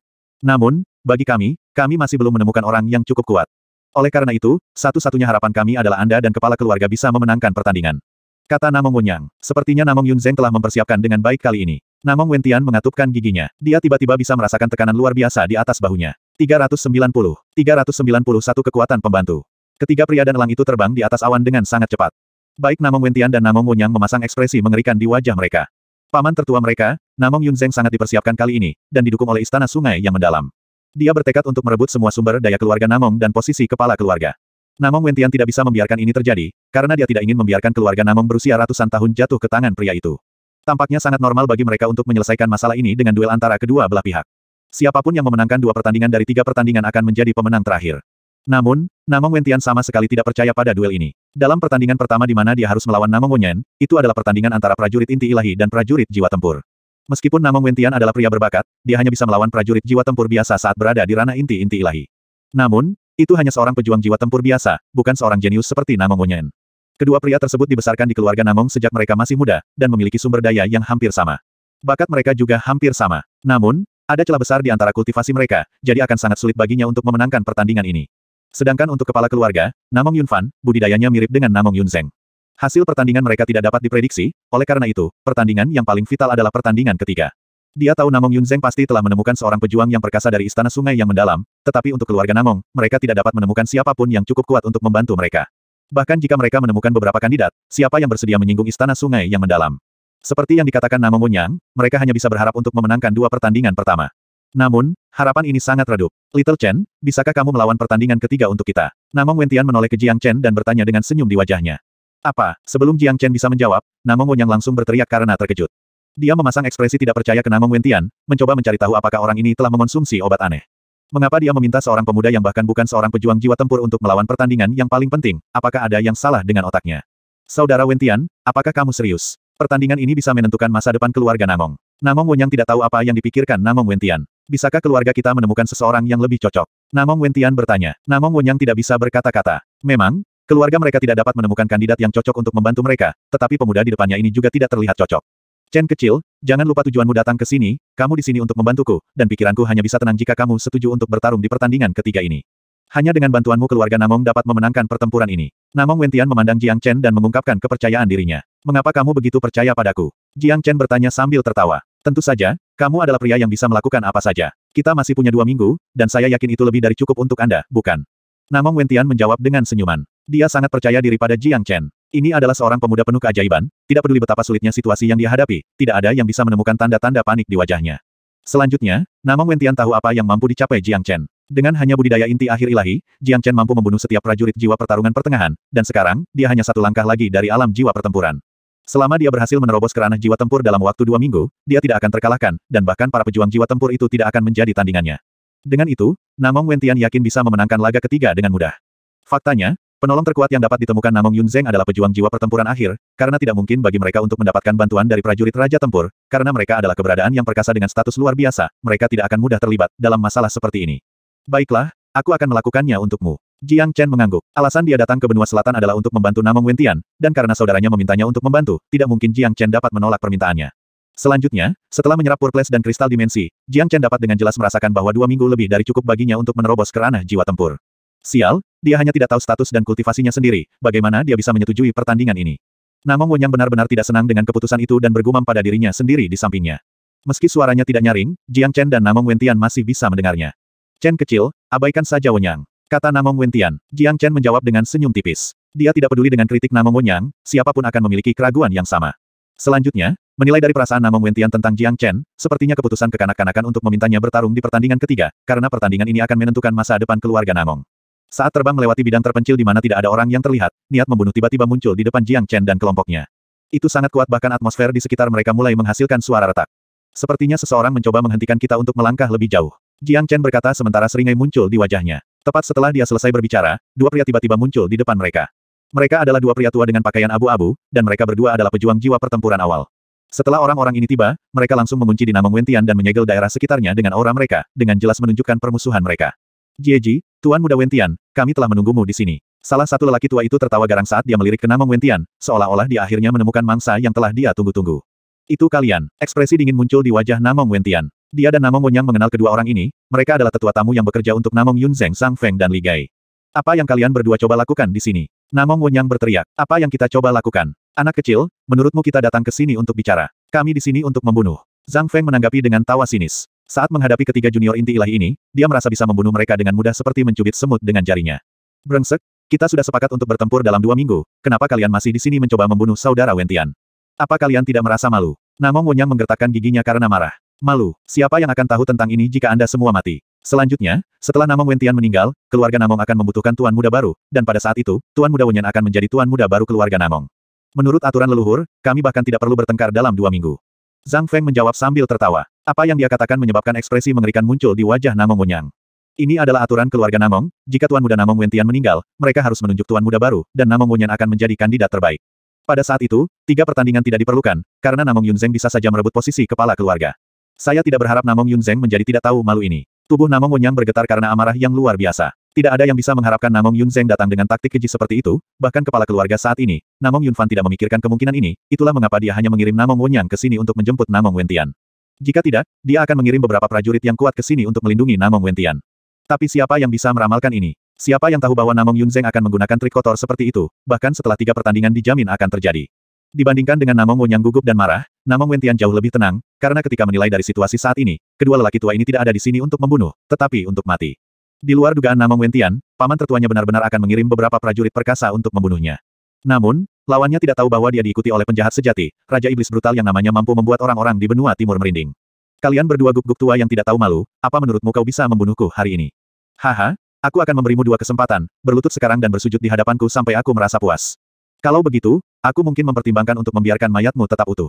Namong Wentian tiba-tiba menjadi sangat agresif. Sikap sombongnya yang tidak berdasar langsung mengejutkan kedua lelaki tua ini, bahkan Namong Wen yang terkejut olehnya. Dia tidak tahu apa yang terjadi pada sepupunya, tidak mungkin mereka bisa melarikan diri dari situasi berbahaya ini, jadi mengapa dia mengucapkan pidato sombong seperti itu? Apakah dia tidak takut mati? Haha, Zhang Feng dan Li Gai tiba-tiba tertawa terbahak-bahak, seolah-olah mereka baru saja mendengar lelucon paling lucu di bawah langit. Itu sampai pada titik di mana air mata hampir keluar dari mata mereka. Tuan Muda Wentian, saya tidak berharap Anda menjadi ahli menggertak setelah lama pergi dari keluarga Namong. Li Gai tidak bisa menahan tawa. Sudah cukup, hentikan omong kosong. Li Gai, bunuh mereka semua, jangan tinggalkan yang selamat. Ekspresi Zhang Feng menjadi dingin dalam sekejap, lalu dia memberikan perintahnya. Dengan itu, Li Gai segera berjalan menuju Namong Wentian dengan niat membunuh yang sangat kuat. Adapun pria muda berbaju putih di samping targetnya, dia bahkan tidak melihatnya. Prajurit lemah seperti itu tidak sebanding dengan waktunya. Chen kecil, apakah kamu mendengar apa yang baru saja dikatakan guk-guk tua itu? Namong Wentian menoleh ke Jiang Chen dan bertanya dengan senyum lebar di wajahnya. Dia bilang jangan tinggalkan yang selamat. Jiang Chen menanggapi dengan senyum kejam. Kemudian, dia mengambil langkah maju, tiba di depan Li Gai. N. Li Gai terkejut sesaat. Kemudian, dia melepaskan tamparan ke arah Jiang Chen dan berkata, dasar bodoh. Pergi ke neraka. Bam, suara, bam, yang tumpul terdengar dari antara Jiang Chen dan Li Gai, dan dalam sepersekian detik kemudian, tubuh Li Gai dikirim terbang kembali dengan jeritan yang menyedihkan. Sementara terbang kembali tak terkendali, darah terus mengalir dari mulutnya. Swoosh. Saat berikutnya, Jiang Chen menghilang dari tempatnya berdiri, dan dengan kecepatan luar biasa, dia menyusul Li Gai dan mengirimkan tendangan kuat ke atas kepalanya. Retak. Tendangan kuat itu langsung menyebabkan kepala Li Gai meledak dan berubah menjadi kabut darah. Setelah itu, mayatnya langsung jatuh dari langit. Apa? Zhang Feng dan Namong Wen yang berteriak tak percaya pada saat bersamaan. Perubahan mendadak menimpa kedua pria itu, mereka dikejutkan oleh pendekatan brutal pemuda yang tidak diketahui asalnya ini. Jiang Chen sangat cepat, dia sangat cepat sebelum mereka bisa bereaksi, Li Gai sudah mati. Li Gai sama sekali bukan tandingannya, dia bahkan tidak memiliki kemampuan untuk melawan. Ini, bagaimana ini mungkin? Mulut Namong Wen yang terbuka lebar karena terkejut. Dia tidak percaya apa yang baru saja dia lihat. Namun, dia akhirnya menyadari betapa kuatnya pemuda yang dibawa Namong Wen Tian ini bersamanya. Pantas saja sepupunya meminta pemuda ini untuk membantu di pertarungan ketiga. Ketika dia ingat bagaimana dia mengejek Jiang Chen, Namong yang tidak bisa menahan perasaan malu. 392 Kota Namong. Adegan itu sepertinya benar-benar berhenti, bahkan udaranya terasa seperti membeku. Baik Namong Yang dan Zhang Feng ketakutan oleh pemuda di depan mereka ini. Tentu saja, perasaan mereka tidak sama, Namong Yang ketakutan, bercampur dengan keterkejutan, karena Jiang Chen bagaimanapun juga ada di sisinya. Namun, itu adalah perasaan yang sangat berbeda untuk Zhang Feng. Zhang Feng merasakan jiwanya gemetar, dia dikejutkan oleh rasa takut yang datang dari lubuk hatinya. Hanya dengan melihat pemuda berbaju putih ini, dia bisa dengan jelas merasakan kematian menghembuskan nafas di lehernya. Dia belum pernah merasa begitu dekat dengan kematian sebelumnya sepanjang hidupnya. Dia tahu betapa kuatnya kultivasi Ligai. Ligai adalah seorang prajurit jiwa tempur awal, tetapi bahkan dengan kultivasi yang perkasa itu, pemuda ini benar-benar membunuhnya hanya dengan satu serangan. Zhang Feng terus memeriksa pemuda ini dengan indranya, memastikan bahwa dia benar-benar hanya seorang prajurit inti-inti ilahi, bahkan bukan seorang pejuang jiwa tempur. Namun, hanya dengan kultivasi puncak inti ilahi, pemuda ini benar-benar telah membunuh seorang prajurit jiwa pertempuran awal seperti dia membunuh semut dengan mencubitnya. Jika dia tidak menyaksikan ini sendirian, dia tidak akan mempercayainya sama sekali. Kamu, siapa kamu? Zhang Feng bertanya dengan suara gemetar. Dia jelas ketakutan sekarang, karena semua agresivitasnya telah menghilang. Zhang Feng sangat yakin dia belum pernah bertemu dengan pemuda ini sebelumnya, dan tidak ada yang pernah memberitahunya tentang pria ini juga. Namun, seorang jenius yang mampu dengan mudah membunuh seorang pejuang jiwa tempur sementara hanya seorang prajurit inti-inti ilahi pasti seseorang yang terkenal. Namun, Zhang Feng tidak bisa mengingat benua selatan pernah memiliki kejeniusan yang luar biasa. Haha, guk-guk tua, apakah kamu masih berpikir untuk membunuhku sekarang? Namong Wentian tertawa terbahak-bahak. Bahkan jika mereka mengirim dua prajurit jiwa pertarungan pertengahan ke sini, Jiang Chen masih bisa membunuh mereka tanpa masalah, apalagi dua pria jiwa pertempuran awal tua ini. Siapa saya tidak penting. Masalahnya, Anda telah melakukan sesuatu yang tidak bisa dimaafkan. Jiang Chen berkata dengan suara tenang sambil menggelengkan kepalanya. Memang, lawannya telah melakukan sesuatu yang tidak bisa dimaafkan, karena Jiang Chen tidak akan pernah membiarkan musuhnya pergi, terutama musuh yang telah mencoba membunuhnya dan saudara-saudaranya. Baiklah, anak muda, aku akan mengingatmu. Apa yang terjadi hari ini tidak akan berakhir begitu saja di sini. Setelah meninggalkan beberapa kata yang mengancam, Zhang Feng menggerakkan tubuhnya dan berubah menjadi jejak cahaya, dan mulai terbang ke kejauhan. Dia jelas telah gagal dalam misi ini, karena bahkan Namong Yunzeng tidak mengharapkan seorang jenius muda untuk mengikuti Namong Wentian. Menghadapi situasi seperti itu, satu-satunya pilihan yang tersisa baginya adalah melarikan diri. Selanjutnya, Zhang Feng memiliki perasaan bahwa bahkan jika dia tidak bisa mengalahkan pemuda ini, dia masih bisa dengan mudah melarikan diri dengan budidaya jiwa tempurnya.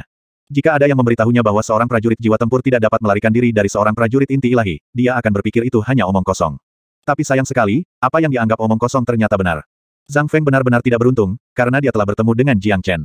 Jangan lari dariku. Tepat ketika Namong Wenyang merasa bahwa Zhang Feng akan melarikan diri dengan mudah, Jiang Chen tiba-tiba berteriak dan mengulurkan lengannya ke depan, melepaskan cakar naga merah darah raksasa yang turun dari langit di atas. Cakar naga merah darah sepenuhnya tertutup sisik naga, dan tampak seperti cakar naga sungguhan. Ini menghasilkan suara retakan dan sejumlah besar bunga api saat menuju Zhang Feng.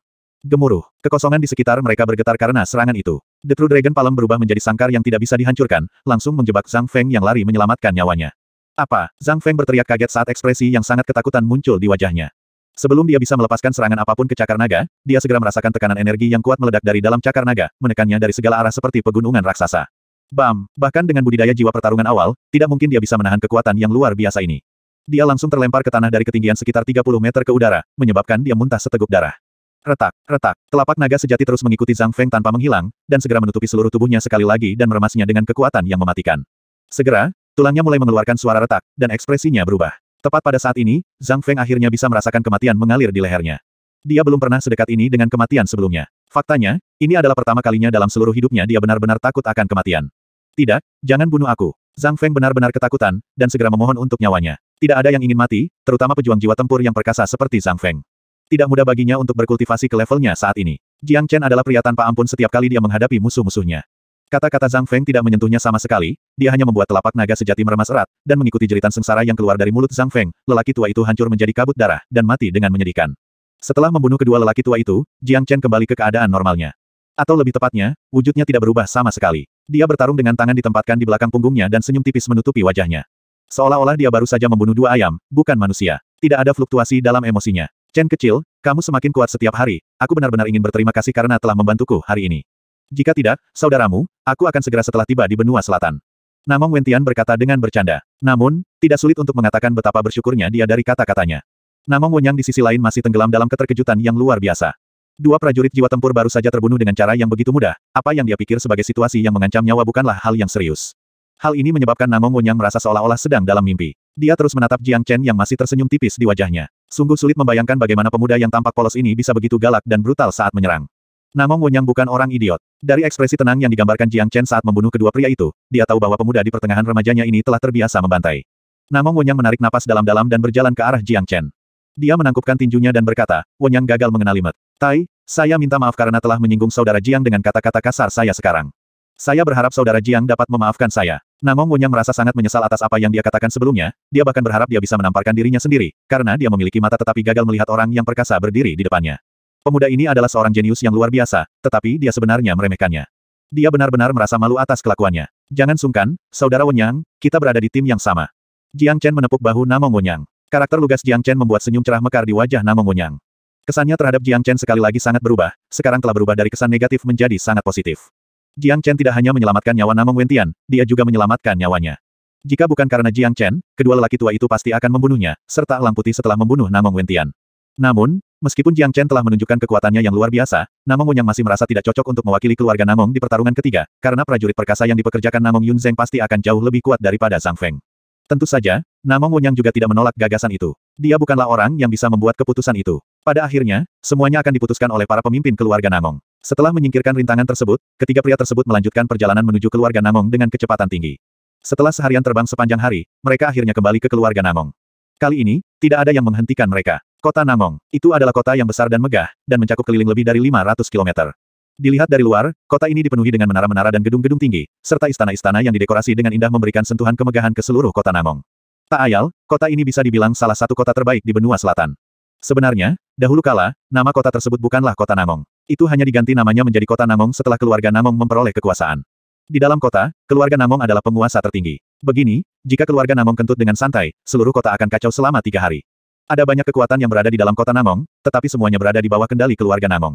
Selama keluarga Namong memberi perintah, tidak ada yang berani membangkang. Ketiga pria itu diam-diam turun di luar gerbang utara keluarga Namong. Elang putih yang mengikuti kelompok ini telah berpisah saat memasuki kota. Little Chen, kota Namong dalam keadaan gelisah sekarang. Setelah keluarga Namong dipisahkan oleh paman tertua saya, kota Namong dipecah menjadi dua bagian. Orang-orang di dekat gerbang selatan berada di bawah kendalinya, sedangkan gerbang utara masih di bawah kendali keluarga Namong. Namun, karena kita sekarang berada dalam masa kritis, demi keamanan, lebih baik tetap rendah hati dan berjalan ke kota. Prioritas kami adalah pulang ke rumah. Namong Wentian menjelaskan. N. Jiang Chen mengangguk. Faktanya, saat mereka tiba di kota, dia merasakan atmosfer gelisah yang tersisa di dalam kota. Kota yang megah dan megah ini tidak sedamai kelihatannya, arus bawahnya kuat. Kalian bertiga, berhenti di situ. Anda harus membayar biaya masuk. Enam pria jangkung dan berotot berdiri di kedua sisi gerbang utara. Ketika mereka melihat Jiang Chen dan dua lainnya, mereka segera menghentikan mereka. Apakah kamu buta? Namong Wonyang berjalan maju dan meneriaki pemimpin penjaga. Baru sekarang penjaga itu melihat siapa pria yang meneriakinya itu. Dia langsung ketakutan, dan berlutut di tanah. Saya tidak tahu itu Tuan Muda Wonyang, maafkan saya atas ketidaktahuan saya. Tubuh penjaga itu berlumuran keringat. Dia hanyalah pemimpin dari sekelompok kecil penjaga keluarga Namong. Dibandingkan dengan Namong Wonyang yang merupakan salah satu keluarga jenius dia bukan apa-apa. Huff. Namong Wonyang dengan dingin menderu. Setelah itu, dia memberi isyarat penyambutan ke arah Jiang Chen dan Namong Wentian, lalu membawa kedua pria itu ke kota. Semua penjaga berlutut dengan kepala menunduk, jadi tidak ada dari mereka yang bisa melihat bahwa Namong Wentian adalah salah satu pria yang datang. Jika tidak, mereka bahkan mungkin ketakutan, karena tuan muda keluarga Namong adalah eksistensi yang bisa melakukan apa pun yang dia inginkan di kota Namong. Chen kecil, mereka adalah penjaga keluarga Namong. Soalnya, kota Namong tidak hanya kota yang makmur, dengan perlindungan kami, kota ini juga tempat yang sangat aman untuk ditinggali. Mereka yang tinggal di dalam kota tidak perlu membayar biaya masuk, tetapi bagi orang luar, mereka harus membayar sejumlah tertentu jika ingin mengunjungi kota. Namong Wentian menjelaskan, di kota Namong, keluarga Namong adalah kaisar sejati, tidak ada yang bisa melanggar aturan mereka. 393 Namong Yunfan. Keluargamu sangat kaya, Jiang Chen tidak bisa membantu tetapi berkomentar. Mengesampingkan semua pendapatan lainnya, hanya biaya masuk yang mereka kumpulkan setiap hari adalah angka yang cukup besar untuk menjatuhkan banyak rahang. Bahkan jika mereka mengumpulkan hanya satu pil pemulihan fana per orang, jumlahnya masih luar biasa. Sebagai salah satu kota paling makmur di benua selatan, banyak orang mengunjungi kota Namong setiap hari, dan para pembudidaya yang dapat tinggal di kota ini adalah semua orang dengan status dan kekuatan yang perkasa. Sangat sulit bagi orang normal untuk menemukan tempat tinggal di kota Namong. Keberadaan keluarga Namong memungkinkan Jiang Chen untuk menyaksikan seperti apa rupa seorang lalim lokal. Keluarga besar seperti ini tidak pernah kekurangan sumber daya. Karena mereka memiliki kekuatan luar biasa, karena mereka adalah penguasa tertinggi wilayah ini, mereka memutuskan apa yang berhasil di sini. Tentu saja, tidak ada yang berani menolak membayar biaya masuk. Ayo cepat dan kembali ke rumahku. Namong Wentian mempercepat langkahnya. Ketiga pria itu berlari dengan kecepatan tinggi melalui jalan utama kota Namong, membawa angin kencang ke mana pun mereka lewat. Banyak orang bisa merasakan angin kencang bertiup ke arah mereka, menyebabkan mereka terhuyung-huyung. Mereka hampir tidak dapat melihat beberapa pria yang lewat, tetapi karena mereka begitu cepat, tidak ada yang benar-benar dapat melihat siapa mereka. Kediaman keluarga Namong terletak di pusat kota Namong. Itu adalah rumah besar yang menutupi lebih dari 50 km tanah. Hanya rumah keluarga Namong ini saja yang menempati hampir 10% dari seluruh kota Namong. Di dalam kediaman keluarga Namong, menara tinggi dan istana yang dibangun dengan indah bisa dilihat di mana-mana. Seluruh tempat dipenuhi dengan suasana mewah dan megah. Ini adalah tanah terlarang di kota Namong, dan tidak ada orang biasa yang diizinkan memasuki tempat ini. Namun kini, suasana di dalam manor terbesar di kota Namong ini cukup suram, karena keluarga Namong ini bukan lagi satu keluarga Namong. Sejak Namong Yunzeng telah meninggalkan dan membagi keluarga, keseluruhan kekuatan telah melemah, dan ada konflik internal yang terus-menerus sesekali. Konflik yang akan datang bahkan akan menentukan masa depan dan kelangsungan hidup keluarga besar ini. Berita tentang tiga duel yang diajukan oleh Namong Yunzeng telah menyebar ke mana-mana. Saat ini, seluruh keluarga Namong bersemangat. Mereka semua menunggu kembalinya tuan muda mereka, karena untuk duel ini, tuan muda mereka akan berpartisipasi dalam pertandingan terpenting. Sik, aku ingin tahu ke mana tuan muda pergi, dan butuh waktu lama baginya untuk kembali. Tepat, duel akan segera hadir, dan jika tuan muda tidak dapat kembali tepat waktu, Namong Yunzeng akan merebut posisi kepala keluarga dengan alasan yang benar. Mungkin kita masih akan kalah bahkan dengan kepulangannya. Keluarga Namong menghadapi ancaman nyata kali ini, Namong Wonyen bahkan telah menerobos ke ranah jiwa tempur. Kecuali tuan muda juga menerobos, dia tidak akan bisa melawan Namong Wonyen. Semua orang di keluarga Namong sedang membicarakan tuan muda mereka. Banyak dari mereka masih tidak tahu bahwa istana sungai yang mendalam terlibat dalam konflik internal ini. Tetapi karena Namong Yunzeng telah membuat begitu banyak keributan kali ini, dia jelas siap dan berkomitmen untuk mendapatkan apa yang diinginkannya. Ini membuat mereka semua khawatir tentang masa depan keluarga Namong. Lihat, saya pikir itu tuan muda. Tiba-tiba, seseorang berteriak karena terkejut. Banyak orang segera mengangkat kepala dan melihat ke langit di atas keluarga Namong. Apa yang mereka lihat adalah tiga pria terbang menuju istana utama keluarga Namong. Salah satunya adalah Namong Wonyang, yang dikenal banyak orang di sini. Pria di tengah adalah seorang pria muda dengan pakaian hijau, dia memiliki wajah yang tampan dan tubuh yang agung. Bahkan jika pria ini sudah lama jauh dari keluarga mereka, mereka masih bisa mengenalinya dalam sekejap, karena dia adalah pemuda mereka, yang telah ditunggu-tunggu semua orang. Benar-benar tuan muda, dia datang ke sini tepat waktu. Tapi, siapakah pemuda berpakaian putih di sebelahnya itu? Mengapa saya belum pernah melihat pria itu sebelumnya? Aku yakin dia teman tuan muda, dia pasti pernah bertemu pria ini ketika dia sedang bepergian.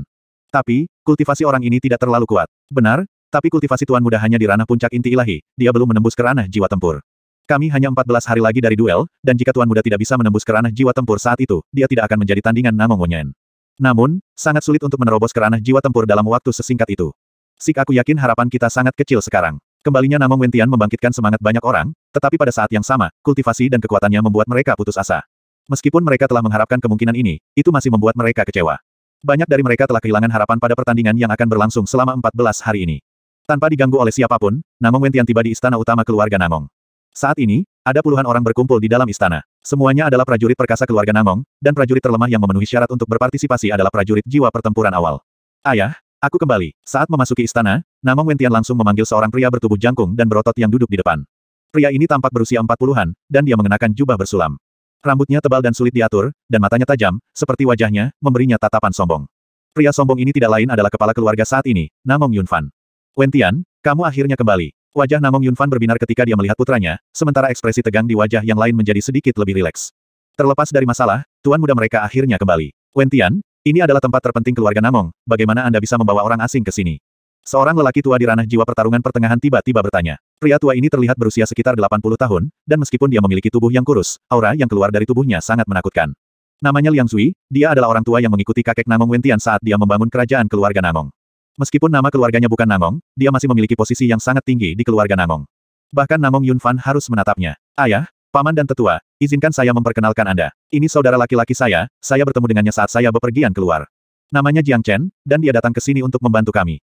Namong Wentian memperkenalkan Jiang Chen kepada mereka. Bantu kami. Wentian, apa kamu bercanda denganku? Paman tu tahu kamu senang bercanda sejak kamu masih kecil. Orang tua lain berkata dengan cara bercanda. Ini adalah pria tua dengan rambut abu-abu dan janggut, dan dia duduk di sana dengan penampilan yang sopan. Tempat duduknya sejajar dengan tempat duduk Namong Yunfan, dan dari sini, orang bisa tahu posisi seperti apa yang dia pegang di keluarga Namong. Selanjutnya, orang tua ini memiliki kultivasi yang sangat kuat, dia adalah seorang pejuang jiwa pertempuran akhir. Namanya Tuyi, dan nama panggilannya adalah Tousan dan Bacer. Dia salah satu lelaki tua yang mengikuti kakek saya ketika dia membangun kerajaannya, lelaki ini memiliki posisi yang sangat penting dalam keluarga kami. Namong Wentian memberitahu Jiang Chen tentang lelaki tua ini melalui sens ilahinya. Jiang Chen diam-diam mengangguk. Meskipun nama belakang pria ini bukan Namong, seperti yang dikatakan Namong Wentian, posisinya di keluarga benar-benar tertinggi. Wentian, kamu meminta bantuan dari Divine Core Junior, bukankah menurutmu ini terlalu kekanak-kanakan? Kami dapat dengan mudah menemukan ribuan pria seperti dia di keluarga kami. Kata Liang Zui. Kata-katanya membawa nada sarkastik. Sebenarnya, bukan hanya dia, semua pria lain di tempat itu juga tersenyum pada saat bersamaan. Jelas, mereka juga merasa bahwa Namong Wentian mendapatkan penolong yang lemah adalah tindakan yang kekanak-kanakan. Melihat apa yang terjadi, Jiang Chen tidak bisa membantu tetapi menghela nafas, karena dia segera menjadi pusat perhatian setelah tiba. Dia tidak tahu mengapa kelompok lelaki tua ini bertingkah seperti ini, tuan muda mereka baru saja kembali, jadi mereka setidaknya harus bertanya kepada tuan muda mereka tentang perjalanannya. Mengapa mereka hanya mengarahkan jari mereka ke orang luar? Kepala keluarga, tetua, tolong jangan meremehkan saudara Jiang Chen. Selama perjalanan kami kembali, jika bukan karena saudara Jiang Chen, saudara Wentian dan saya akan menjadi daging mati sekarang. Namong Wonyang dengan cepat bersuara. Jiang Chen telah menyelamatkan hidupnya, jadi dia harus menonjol dan berbicara untuknya. Selanjutnya, Jiang Chen adalah seorang pria dengan kemampuan sejati, bukan seseorang yang memiliki reputasi yang tidak diterima. Apa yang terjadi? Ekspresi Namong Yunfan berubah, dan dia menoleh ke Namong Wonyang dan bertanya. Kepala keluarga, saya pikir Anda kenal Zhang Feng dan Li Gai, mereka berdua bekerja untuk paman tertua. Setelah saya menjemput saudara Wentian, kami dihentikan oleh mereka dalam perjalanan pulang, mereka dikirim oleh paman tertua untuk membunuh saudara Wentian, karena selama dia mati, mereka bisa membatalkan duel. Namong Wonyang tidak berani menyembunyikan apa pun, dan memberitahu mereka semua yang dia ketahui. Apa? Kata-katanya menyebabkan semua orang di istana berteriak kaget. Tercela. Namong Yunzeng ini adalah pria yang benar-benar tercela. Dia juga dari keluarga Namong, jadi kenapa dia menggunakan taktik yang begitu hina? Bajingan itu, kami sudah setuju untuk duel, jadi mengapa dia masih ingin menyebarkan rencana jahat seperti itu? Jika Wentian meninggal, kami harus menunjuk tuan muda baru, dan hanya Namong Wonyen yang berhak menjadi tuan muda berikutnya. Betapa sebuah rencana, sungguh rencana yang kejam. Sepertinya kita terlalu ceroboh, kita seharusnya mengirim prajurit yang lebih kuat untuk menjemput Wentian. Tapi, kami tidak menyangka Namong Yunzeng akan menggunakan pendekatan yang begitu hina. Semua orang di istana benar-benar dibuat, mereka marah karena apa yang telah dilakukan Namong Yunzeng. Mereka sudah menyetujui tiga pertandingan, tetapi dia masih ingin membunuh tuan muda mereka. Ini adalah trik yang sangat kotor. Lalu, Namong Yunfan melanjutkan pertanyaannya. Pada saat yang sama, dia melirik Jiang Chen, seolah-olah dia telah menebak sesuatu. Saudara Jiang Chen yang menyelamatkan kita, dia membunuh Zhang Feng dan Li Gai. Namong Wonyang memberitahu semua orang apa yang terjadi. Apa yang Anda katakan adalah, dengan budidaya inti akhir ilahi, dia membunuh dua prajurit jiwa pertempuran awal. Dua sinar terang keluar dari mata Liang Sui. Dia tidak sendiri, cara semua orang memandang Jiang Chen juga berubah. Jika Jiang Chen benar-benar membunuh kedua prajurit jiwa tempur hanya dengan kultivasi inti ilahi, itu akan menjadi pencapaian yang luar biasa. Karena, dia tidak hanya mengalahkan mereka, dia membunuh mereka. Setelah menerobos ke ranah jiwa tempur, bahkan jika mereka bukan tandingan lawan mereka, mereka masih bisa melarikan diri dengan mudah. Namun, Zhang Feng dan Li Gai tidak memiliki kesempatan untuk melakukannya, dan mereka dibunuh oleh junior inti ilahi. Faktanya, ini tidak berarti bahwa mereka lemah, itu hanya berarti bahwa pemuda ini sangat kuat. Namong Yunfan melambaikan lengan bajunya, dan dalam sepersekian detik, tiga kursi besar muncul di istana. Keponakan Jiang Chen yang tersayang, silakan duduk. Namong Yunfan mengulurkan lengannya dan melakukan gerakan penyambutan. Di istana utama keluarga Namong, bisa menerima kursi yang diberikan oleh kepala keluarga sendiri adalah suatu kehormatan besar. 394 bimbingan. Sikap Namong Yunfan terhadap Jiang Chen telah berubah, dan dia bahkan memberi perlakuan Jiang Chen hanya untuk tamu istimewa.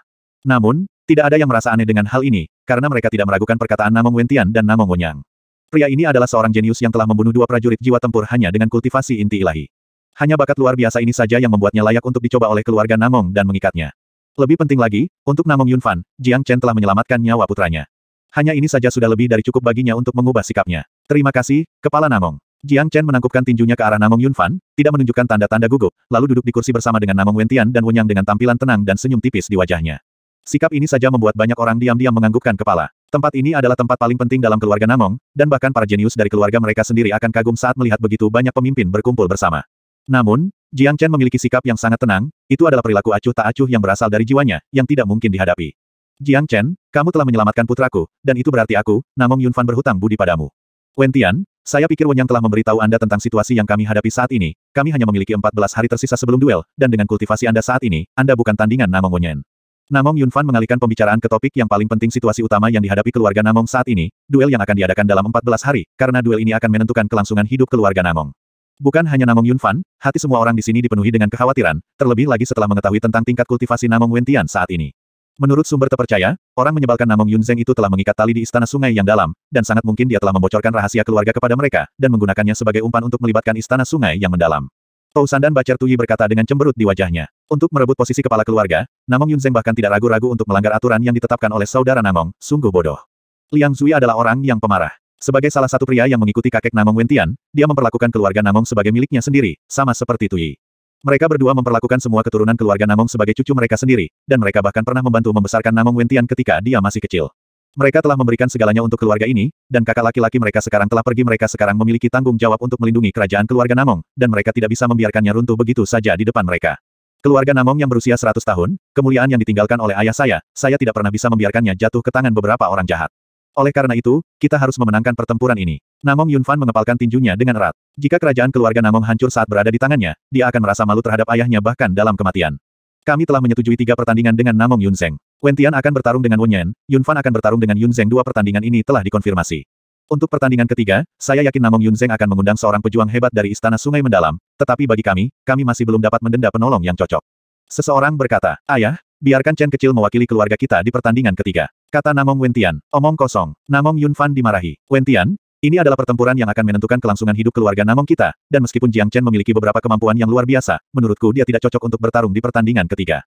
Dengan karakter Namong Yunzeng, saya yakin akan mengundang seorang pejuang jiwa pertempuran akhir. Tidakkah menurutmu itu tidak masuk akal untuk membuat Jiang Chen mewakili kita? Liang Zui menambahkan ketika semua pria lainnya menggelengkan kepala. Pendapat mereka tentang ini sama, saran Namong Wentian hanya kekanak-kanakan.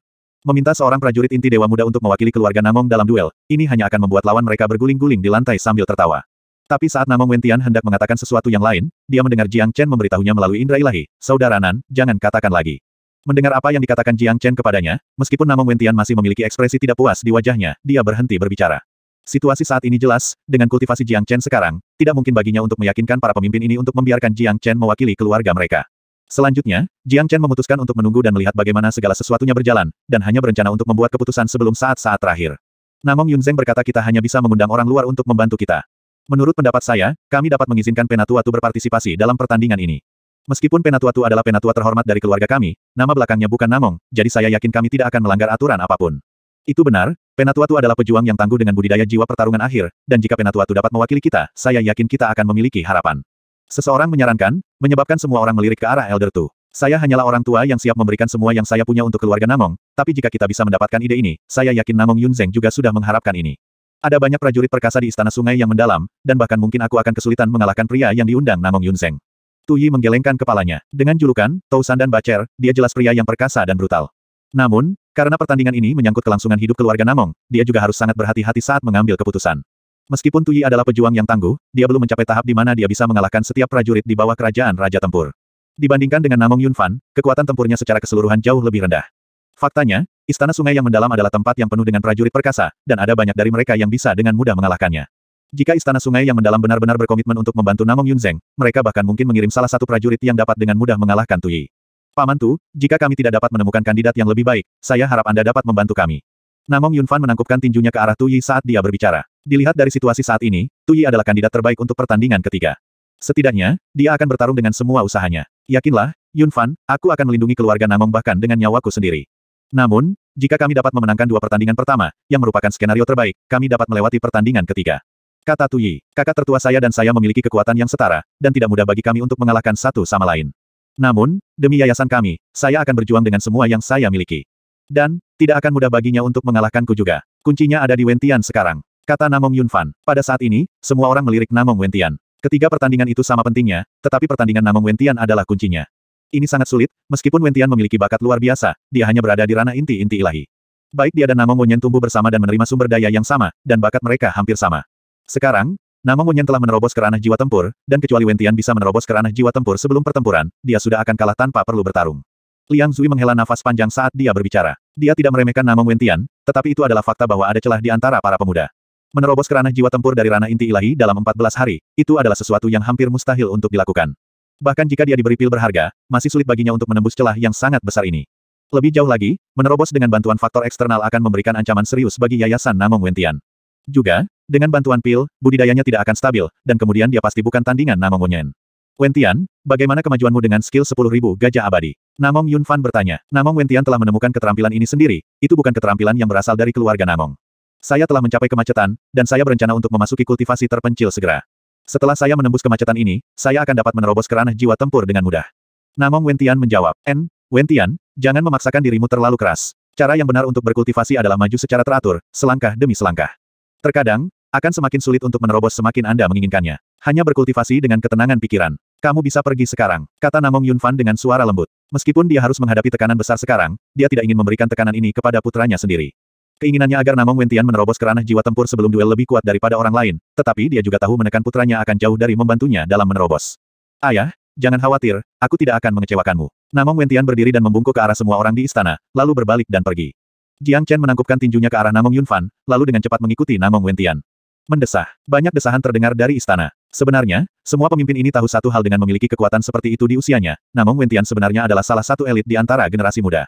Namun, itu tidak cukup untuk situasi ini. Sebenarnya, Namong Yunfan tahu lebih dari siapa pun bahwa alasan mengapa Namong Wentian masih belum menembus ke ranah jiwa pertempuran adalah karena keterampilan 10.000 gajah abadi. Ini memang keterampilan yang kuat, tetapi pada saat yang sama, sangat sulit untuk dikembangkan. Semakin jauh Namong Wentian mengembangkan keterampilan ini, semakin sulit jadinya, dan dia bisa terjebak dalam kemacetan untuk waktu yang lama. Jika Namong Wentian mengembangkan keterampilan biasa itu dari keluarga Namong, dengan bakatnya, dia pasti sudah menerobos ke ranah jiwa tempur, dan akan jauh lebih kuat dari Namong Wenyen. Tetapi baik Namong Wentian dan Namong Yunfan tahu bahwa ketika mengembangkan keterampilan 10.000 gajah abadi, pencapaian masa depan Namong Wentian akan sangat luar biasa. Itu adalah keterampilan yang bisa membuatnya sangat kuat di tahap lanjutan, dan menilai dari situasi saat ini, Namong Yunfan hanya bisa berharap Namong Wentian dapat menerobos selama beberapa hari ini. Halaman yang tenang dipenuhi dengan bunga-bunga indah, inilah tempat tinggal Namong Wentian. Meskipun dia sudah lama tidak berada di sini, perabotan dan dekorasinya masih sama. Setiap hari, para pelayan datang ke sini untuk memastikan tempat itu tetap bersih. Mendesah. Namong Wentian berdiri tepat di tengah halaman dan menghela nafas berat. Dia tahu apa masalahnya, tetapi tidak mudah baginya untuk menembus kemacetannya saat ini. Saudara Kunan, edarkan sepuluh ribu gajah abadi, biarkan aku melihat kemacetanmu. Jiang Chen tiba-tiba berkata. Kata-kata Jiang Chen menyebabkan mata Namong Wentian berbinar. Baru sekarang dia menyadari bahwa pria di sebelahnya ini adalah pria yang bisa mencapai segalanya. Meskipun pria itu baru berusia sekitar 17 tahun, dia adalah pria yang ahli dalam segala hal. Keterampilan budidaya, keterampilan tempur, formasi, alkimia, senjata tempur, sepertinya tidak ada yang belum dikuasai pria ini. Ini adalah monster yang benar-benar tak tertandingi. Dengan pengalaman Jiang Chen, mungkin dia bisa memberikan bantuan ke Namong Wentian. 395 memberikan bantuan. Baik, Namong Wentian langsung menganggukkan kepalanya. Dia tidak akan ragu untuk mengungkapkan semua rahasianya kepada Jiang Chen, karena dia memiliki kepercayaan mutlak pada Jiang Chen. Dia juga tahu bahwa Jiang Chen tidak akan mencuri keterampilan ini darinya, karena keterampilan yang dikembangkan Jiang Chen jauh lebih kuat darinya. Dalam sekejap, Namong Wentian mulai menyesuaikan wujudnya, lalu dia melepaskan energi Yuan yang kuat dari tubuhnya. Pakaian dan rambutnya mulai berkibar, dan lapisan tipis cahaya kemasan menutupi tubuhnya. Menyusul kemunculan cahaya kemasan, energi Namong Wentian mulai berubah. Awalnya, cahaya kemasan itu cepat dan ganas, tetapi perlahan, auranya mulai menjadi berat seperti gunung raksasa. Saat energinya meningkat, seluruh halaman mulai bergetar karena energi yang luar biasa. Setelah itu, aura seperti kuno mulai bocor keluar dari tubuhnya. Jiang Chen memandang Namong Wentian dengan sikap memeriksa tanpa mengedipkan matanya. Sungguh keterampilan mistis, itu benar-benar membawa aura kuno, seolah-olah itu diwarisi dari zaman kuno.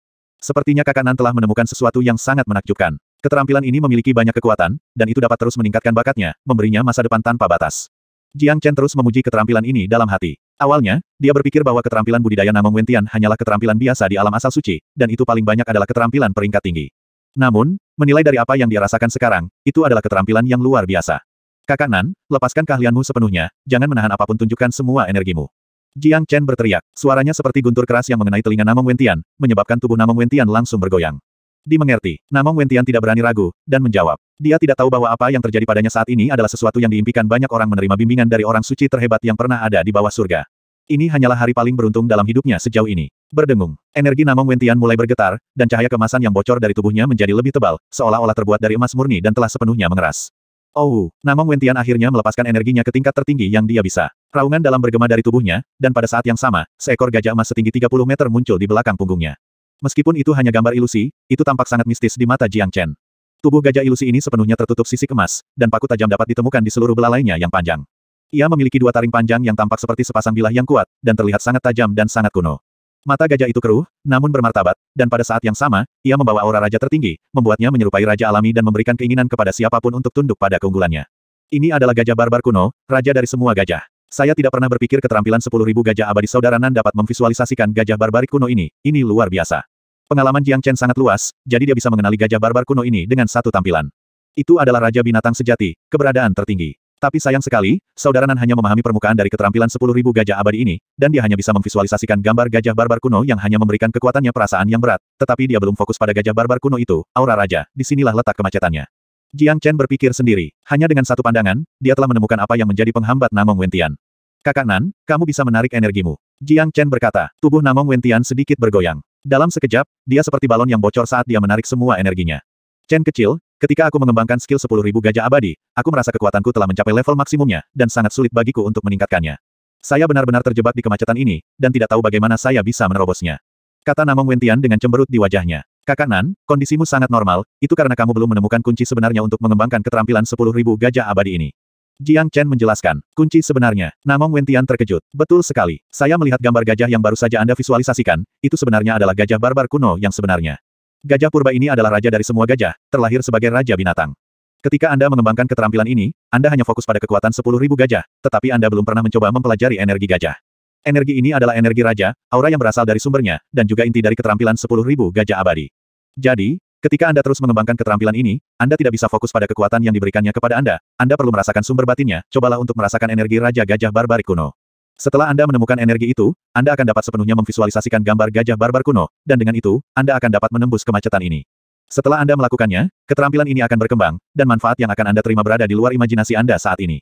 Jiang Chen melanjutkan penjelasannya. Fokus pada sumber energi. Namong Wentian terkejut sesaat. Dia telah mengembangkan keterampilan 10.000 gajah abadi begitu lama, dan selama ini, dia hanya memikirkannya sebagai keterampilan yang memberinya kekuatan luar biasa.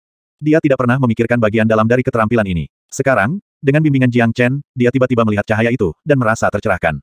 Haha, saya mengerti sekarang. Saya tidak pernah benar-benar memahami esensi dari keterampilan 10.000 gajah abadi ini, begitulah adanya. Chen kecil, aku tidak pernah tahu kamu memiliki pengamatan yang bagus. Apa yang Anda katakan kepada saya langsung menuju ke jantung kemacetan saya, saya pikir saya telah menemukan cara untuk menerobos sekarang. Namong Wentian tertawa terbahak-bahak saat kegembiraan luar biasa memenuhi wajahnya. Perasaan menemukan cara untuk menembus kemacetan besar benar-benar langka, jadi dia tidak bisa mengendalikan kegembiraannya. Saya yakin Anda bisa melakukannya. Jiang Chen menepuk bahu Namong Wentian. Chen kecil, tidak banyak waktu tersisa bagi kita, saya harus memasuki kultivasi terpencil segera dan mencoba yang terbaik untuk menerobos kemacetan ini sebelum duel dimulai, dan menjadi prajurit jiwa tempur. Anda bisa beristirahat di keluarga Namong selama periode waktu ini. Sebagai tamu istimewa keluarga Namong, Anda dapat pergi ke mana pun Anda suka di dalam lingkungan keluarga kami. Kata Namong Wentian, tidak, tinggal di sini tidak akan ada manfaatnya bagiku, aku harus keluar dan berkeliling. Sementara Anda di sini berkultivasi untuk menerobos ke ranah jiwa tempur, saya juga harus menemukan cara untuk menerobos ke ranah ini. Jiang Chen menjawab sambil tersenyum. Benua selatan adalah tanah yang dipenuhi dengan binatang iblis, itu adalah tanah liar dibandingkan dengan benua timur.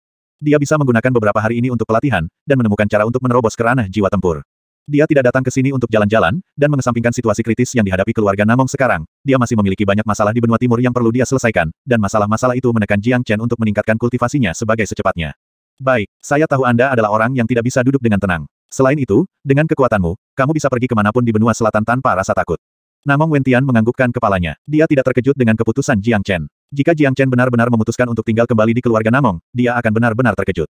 En, jangan tunda lagi, aku akan pergi sekarang. Mari kita lihat siapa di antara kita yang akan menerobos ke ranah jiwa tempur terlebih dahulu. Jiang Chen berkata sambil tersenyum. Saya pikir saya akan menjadi yang pertama. Sekarang saya tahu cara yang benar untuk mengembangkan keterampilan 10.000 gajah abadi, dan tidak butuh waktu lama sebelum saya berhasil menerobos.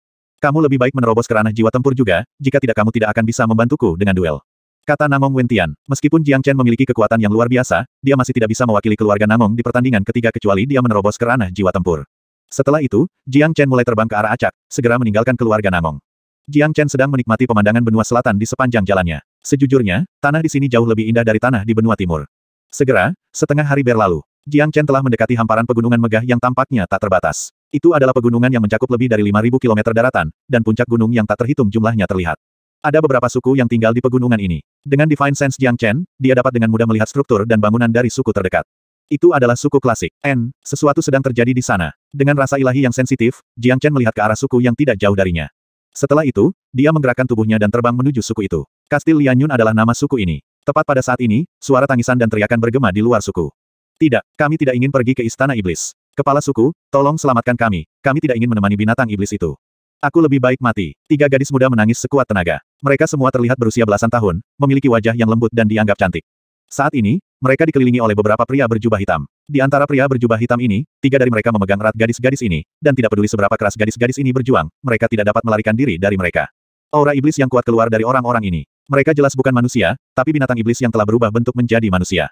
Saat ini, sekelompok pria dari Kastil Lianyun berdiri di hadapan orang-orang berbaju hitam ini. Mereka semua dengan marah menggertakkan gigi. Ekspresi marah memenuhi wajah mereka, karena mereka hanya bisa menyaksikan orang-orang mereka dibawa pergi oleh orang-orang jahat ini tanpa kemampuan apa pun untuk menghentikan mereka. Sulit bagi orang biasa untuk memahami bagaimana perasaan mereka saat ini. Istana Iblis, jangan pergi terlalu jauh. Selama dua tahun terakhir, kami telah memberi Anda banyak sumber daya, jadi mengapa Anda masih membawa pergi orang-orang kami? Seorang pria yang berdiri di garis depan berkata. Dia adalah pria gemuk berusia lima puluhan, dan kepala suku Kastil Yanyun. Saat ini, kedua matanya telah memerah, dan dia mengepalkan tinjunya dengan erat. Sebagai kepala suku orang-orang ini, menyaksikan orang-orangnya dibawa pergi oleh binatang buas ini memberinya perasaan yang tak tertahankan. Jieji, Pak Tua, besok adalah ulang tahun majikan ketiga kita. Bisa tidur dengannya adalah kehormatan ketiga gadis ini, dan jika tuan ketiga kami senang dengan layanan mereka, dia mungkin mengembalikan sebagian harta yang kau berikan kepada kami terakhir kali. Ini kabar baik untuk kalian semua, jadi kenapa kalian masih menangis di sini? Pemimpin pria berpakaian hitam berkata dengan senyum jahat di wajahnya. Tidak, saya tidak ingin tidur dengan iblis itu, saya lebih baik mati. Mendengar bahwa dia akan tidur dengan tuan ketiga mereka, salah satu dari tiga gadis itu segera berteriak. Diam, pria berbaju hitam itu menamparkan gadis yang menangis itu. Bajingan, lepaskan adikku. Tepat pada saat ini, seorang pemuda melompat keluar dari kerumunan orang dari Kastil Lianyun sambil membawa pedang panjang di tangannya. Meskipun dia terlihat cukup muda, dia sebenarnya adalah seorang prajurit inti surgawi akhir. Mata pemuda ini telah memerah, dan sepertinya dia akan kehilangan kendali dan menyerang orang-orang berpakaian hitam ini. 395. 396 Istana Iblis. Lian Ming, kembali. Melihat ini, kepala suku Lian Haolong segera berteriak dengan keras. Meskipun Lian Ming adalah pejuang inti surgawi akhir, ada beberapa prajurit inti ilahi di antara lawan mereka. Melompat ke kelompok musuh dengan niat untuk menyerang mereka tidak ada bedanya dengan mendekati kematian. Tapi sayang sekali, Lian Ming sudah gila, jadi dia tidak mendengar kata-kata kepala sukunya. Sejak saudara perempuannya ditangkap oleh mereka, dia benar-benar gila. Kepala istana ketiga istana iblis adalah seorang maniak seks yang terkenal, dan jika ketiga gadis muda ini dikirim kepadanya, hidup mereka pasti akan berakhir, karena tuan ketiga ini pasti akan menyiksa mereka, akhirnya membunuh mereka. Benar-benar pria yang sembrono. Pemimpin pria berbaju hitam melambaikan tangannya, melepaskan kekuatan tak terlihat yang menghancurkan tubuh Lian Ming seperti palu yang kuat. Bang! Uh! Lian Ming yang berlari ke depan langsung terlempar ke belakang oleh kekuatan itu, dan terpaksa batuk darah dalam jumlah besar dalam perjalanan kembali. Untungnya, dia dihentikan oleh kepala suku. Ketua, aku mohon, tolong selamatkan adikku. Lian Ming tidak memperhatikan luka-lukanya sendiri, dia hanya meraih lengan kepala suku dengan erat dan memohon bantuannya. Dia tahu lawan terkuat di sini hanyalah prajurit inti pertengahan ilahi, sedangkan kepala sukunya adalah prajurit inti akhir ilahi. Kakaknya akan diselamatkan jika kepala sukunya bisa menonjol dan membantu. Lian Ming, saya harap saya bisa. Tubuh Lian Haolong gemetar hebat. Keinginannya untuk membunuh binatang iblis sialan ini jauh lebih kuat daripada orang lain, tapi dia tidak bisa melakukannya. Sebagai kepala suku, dia harus mempertimbangkan semua orang di kastil Lian Yun, dan jika dia membunuh binatang iblis ini, tidak akan lama sebelum seluruh suku dibantai oleh istana iblis. Orang tua, awasi orang-orangmu sendiri. Saya menunjukkan belas kasihan dengan tidak membunuhnya sekarang, tetapi jika kastil Lian Yun terus tidak mematuhi kehendak istana iblis, kami akan membersihkan seluruh suku Anda, membunuh setiap makhluk hidup tanpa belas kasihan. Pemimpin pria berbaju hitam berkata dengan kejam. Di matanya, dia tidak perlu menganggap serius manusia ini di depannya. Bagi mereka, manusia hanyalah mangsanya, dan gadis-gadis ini adalah mainan yang bisa mereka gunakan untuk melepaskan nafsu mereka.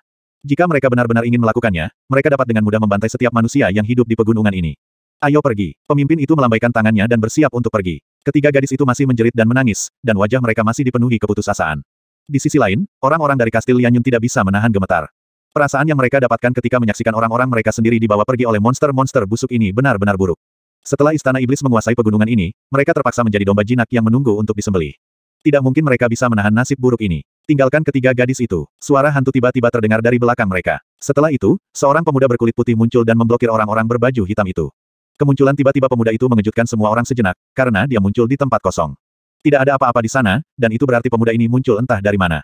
Tidak ada yang melihat bagaimana dia melakukannya. Anak muda, siapa kamu? Pemimpin pria berbaju hitam itu berteriak. Biar kuulangi diriku sendiri, tinggalkan ketiga gadis itu. Pemuda berbaju putih mengarahkan pandangannya ke tanah dan berbicara dengan suara acuh tak acuh. Dia tidak mengangkat kepalanya untuk melihat binatang iblis yang telah berubah menjadi bentuk manusia, seolah-olah mereka sama sekali tidak layak untuk dilihatnya. Dari mana anak bodoh ini berasal? Anda mendekati kematian. Seorang iblis inti surgawi melepaskan energinya, lalu dia mengulurkan cakar hitamnya dan meraih ke arah Jiang Chen. Huff. Jiang Chen dengan dingin mendengus. Dalam sekejap, pria berkulit hitam yang mencoba menyerang Jiang Chen menjerit menyedihkan dan berlutut di tanah. Setelah itu, dia hancur menjadi setumpuk darah dan daging. Apa, perubahan mendadak ini benar-benar membuat takut semua orang, termasuk mereka yang berasal dari kastil Yanyun. Semua orang berteriak kaget, dan cara mereka memandang pemuda berbaju putih ini telah sangat berubah. Tidak ada yang melihat bagaimana pemuda ini menyerang. Dengan hanya, huh, dia telah membunuh iblis inti surgawi. Ini menakutkan, jika mereka tidak melihatnya sendiri, tidak satupun dari mereka akan mempercayainya. Siapa kamu? Pemimpin dari pria berbaju hitam melanjutkan, berani-beraninya kau membunuh seseorang dari istana iblis. Benar-benar orang menyebalkan yang berani. Sepertinya kamu tidak mengerti apa yang aku katakan. Jiang Chen tiba-tiba mengangkat kepalanya, menyebabkan dua sinar terang keluar dari matanya.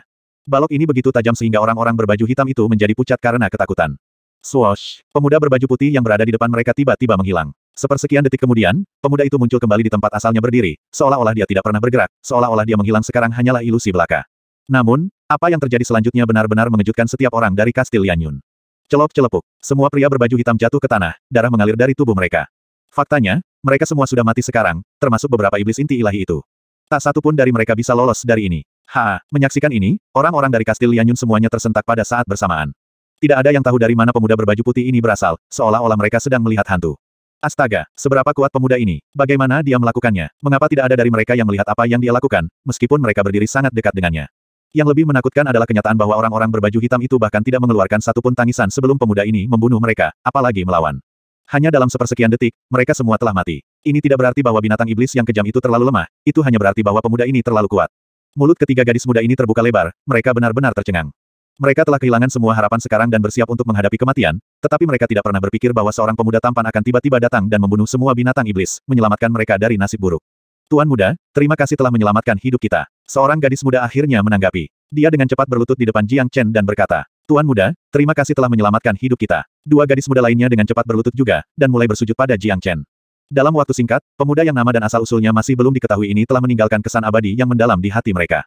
Berdiri, Jiang Chen dengan santai berkata. Kemudian, dia melepaskan kekuatan lembut dari tubuhnya dan mengangkat ketiga gadis itu. Karena dia kebetulan melewati daerah ini dan melihat binatang iblis menggertak manusia, dia harus membantu mereka. Adik perempuan, Lianer, orang-orang di kastil Yanyun menyerbu dan mengepung ketiga gadis itu. Terima kasih telah menyelamatkan adik perempuanku, Tuan Muda. Terimalah terima kasih saya. Lian Ming yang terluka parah segera berlutut di depan Jiang Chen. Berdiri. Anda seorang pria dengan keberanian, minum pil ini dan sembuhkan diri Anda sendiri. Jiang Chen hanya melemparkan pil penyembuhan ke Lian Ming. Pengetahuan Lian Ming cukup luas, jadi hanya dengan melihat warna pilnya, dia langsung tahu itu adalah pil yang tak ternilai harganya. Tuan muda, pil ini terlalu mahal, saya tidak bisa menerimanya. Lian Ming tidak bisa tetap tenang lagi. Simpan saja. Jiang Chen menatap Lian Ming dan berkata, Pemuda ini rela mengorbankan nyawanya sendiri demi menyelamatkan adiknya, Jiang Chen sangat menyukai orang-orang seperti ini. Setelah itu, Jiang Chen menoleh ke Lian Haolong dan bertanya, kamu adalah kepala suku. Ya, saya Lian Haolong. Salam, Tuan Muda. Lian Haolong membungkuk dalam-dalam ke arah Jiang Chen. Kekuatan luar biasa yang digambarkan Jiang Chen barusan menyebabkan dia tidak berani menunjukkan ketidaksopanan. Lebih jauh lagi, orang yang bisa dengan mudah memberikan pil yang tak ternilai harganya pasti orang yang luar biasa. Setidaknya, Kastil Yanyun tidak mampu menyinggung seseorang seperti ini. Kamu pasti sangat khawatir sekarang, karena karena aku telah membunuh binatang iblis itu, istana iblis kemungkinan besar akan kembali untuk membalas dendam. Jiang Chen dapat dengan mudah mengetahui apa yang dipikirkan Lian Haolong. Tentu saja, itu sangat normal. Sebagai kepala suku, pria ini harus terus memikirkan apa yang terbaik untuk sukunya. Tuan muda telah membunuh orang-orang dari istana iblis, mereka akan melepaskan masalah ini dengan mudah. Namun, masalah ini sebenarnya disebabkan oleh Kastil Yanyun. Kami sangat berterima kasih atas bantuan Tuan Muda, tapi istana iblis ini sangat kuat, jadi saya pikir Tuan Muda harus segera pergi. Lian Haolong menghela nafas panjang sebelum dia berbicara. Dia tahu bahwa kiamat kastil Lianyun akhirnya datang. Aku, Jiang Chen membunuh mereka untuk menyelamatkan nyawa orang, bukan untuk menyakitimu. Jangan khawatir, karena saya telah melibatkan diri dalam hal ini, saya akan menyelesaikan masalah ini untuk selamanya. Ceritakan padaku tentang istana iblis, aku akan membantumu melenyapkannya. Jiang Chen berkata, tujuan Jiang Chen untuk keluar adalah untuk berlatih, dan targetnya adalah melawan binatang iblis yang kuat. Sekarang, istana iblis yang mengintimidasi sesama manusia ini telah menjadi sasarannya. Apa? Banyak orang berteriak kaget, menghilangkan istana iblis. Hanya mendengar ini membuat mereka semua ketakutan. Tuan Muda Jiang, istana iblis ini sangat kuat Anda tidak bisa menyinggung perasaan mereka. Lian Haolong berkata dengan cemberut di wajahnya. Sepertinya kalian tidak membutuhkan bantuan saya. Baiklah, aku akan pergi sekarang. Kastil Lian Yun bisa menghadapi ini sendirian. Jiang Chen memelototi Lian Haolong dan berkata. Setelah itu, dia hanya berbalik dan bersiap untuk pergi. Tuan muda, jangan pergi. Semua orang dari Kastil Lianyun segera berteriak, menghentikan Jiang Chen untuk pergi.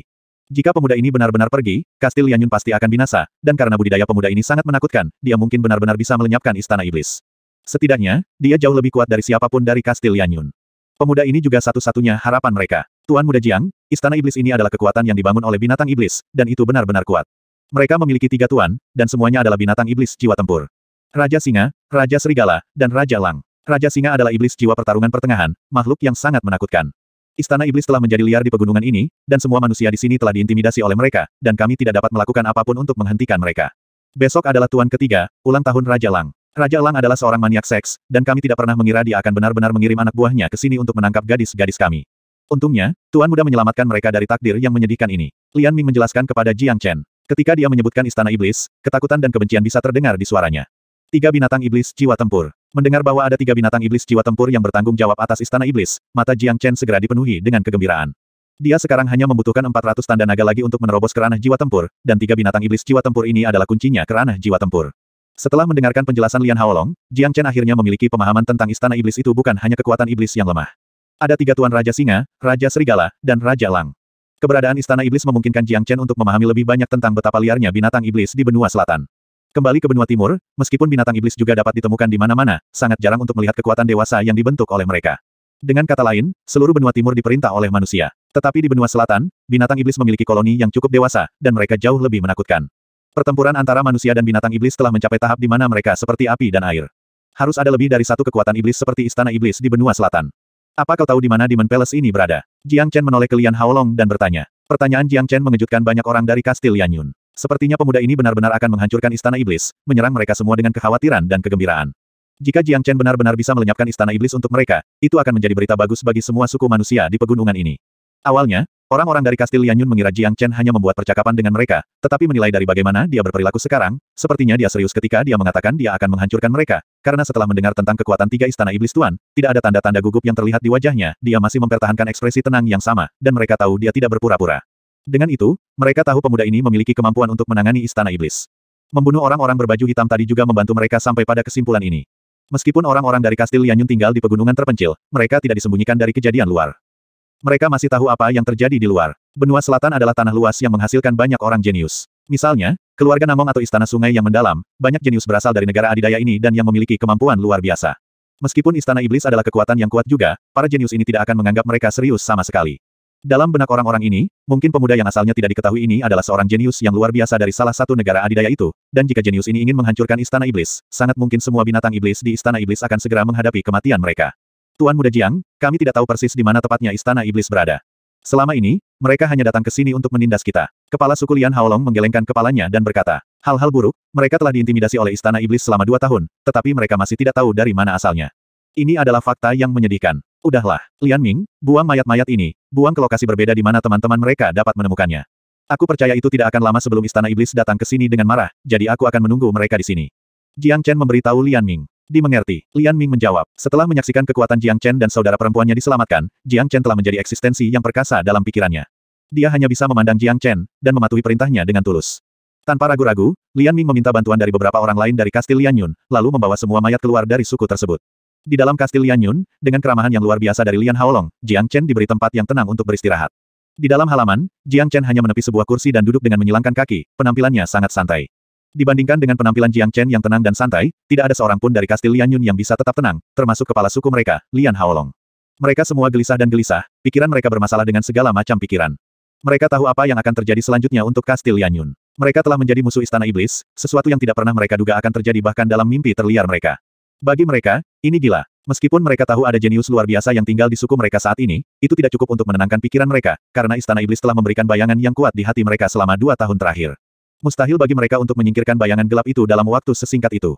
Satu jam kemudian, di cakrawala yang jauh, asap hitam tebal tiba-tiba muncul. Itu bergerak cepat, dan itu semakin dekat dan lebih dekat ke kastil Lianyun setiap detiknya.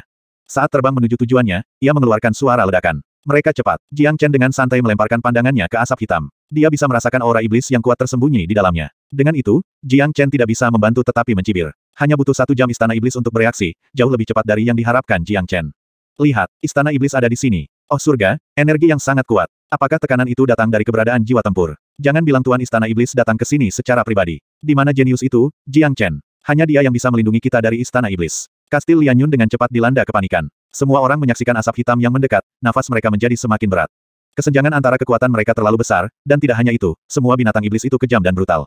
Orang-orang di Kastil Lianyun yang telah diintimidasi oleh mereka selama dua tahun tidak memiliki cara untuk melawan mereka mereka bahkan tidak berpikir untuk melawan.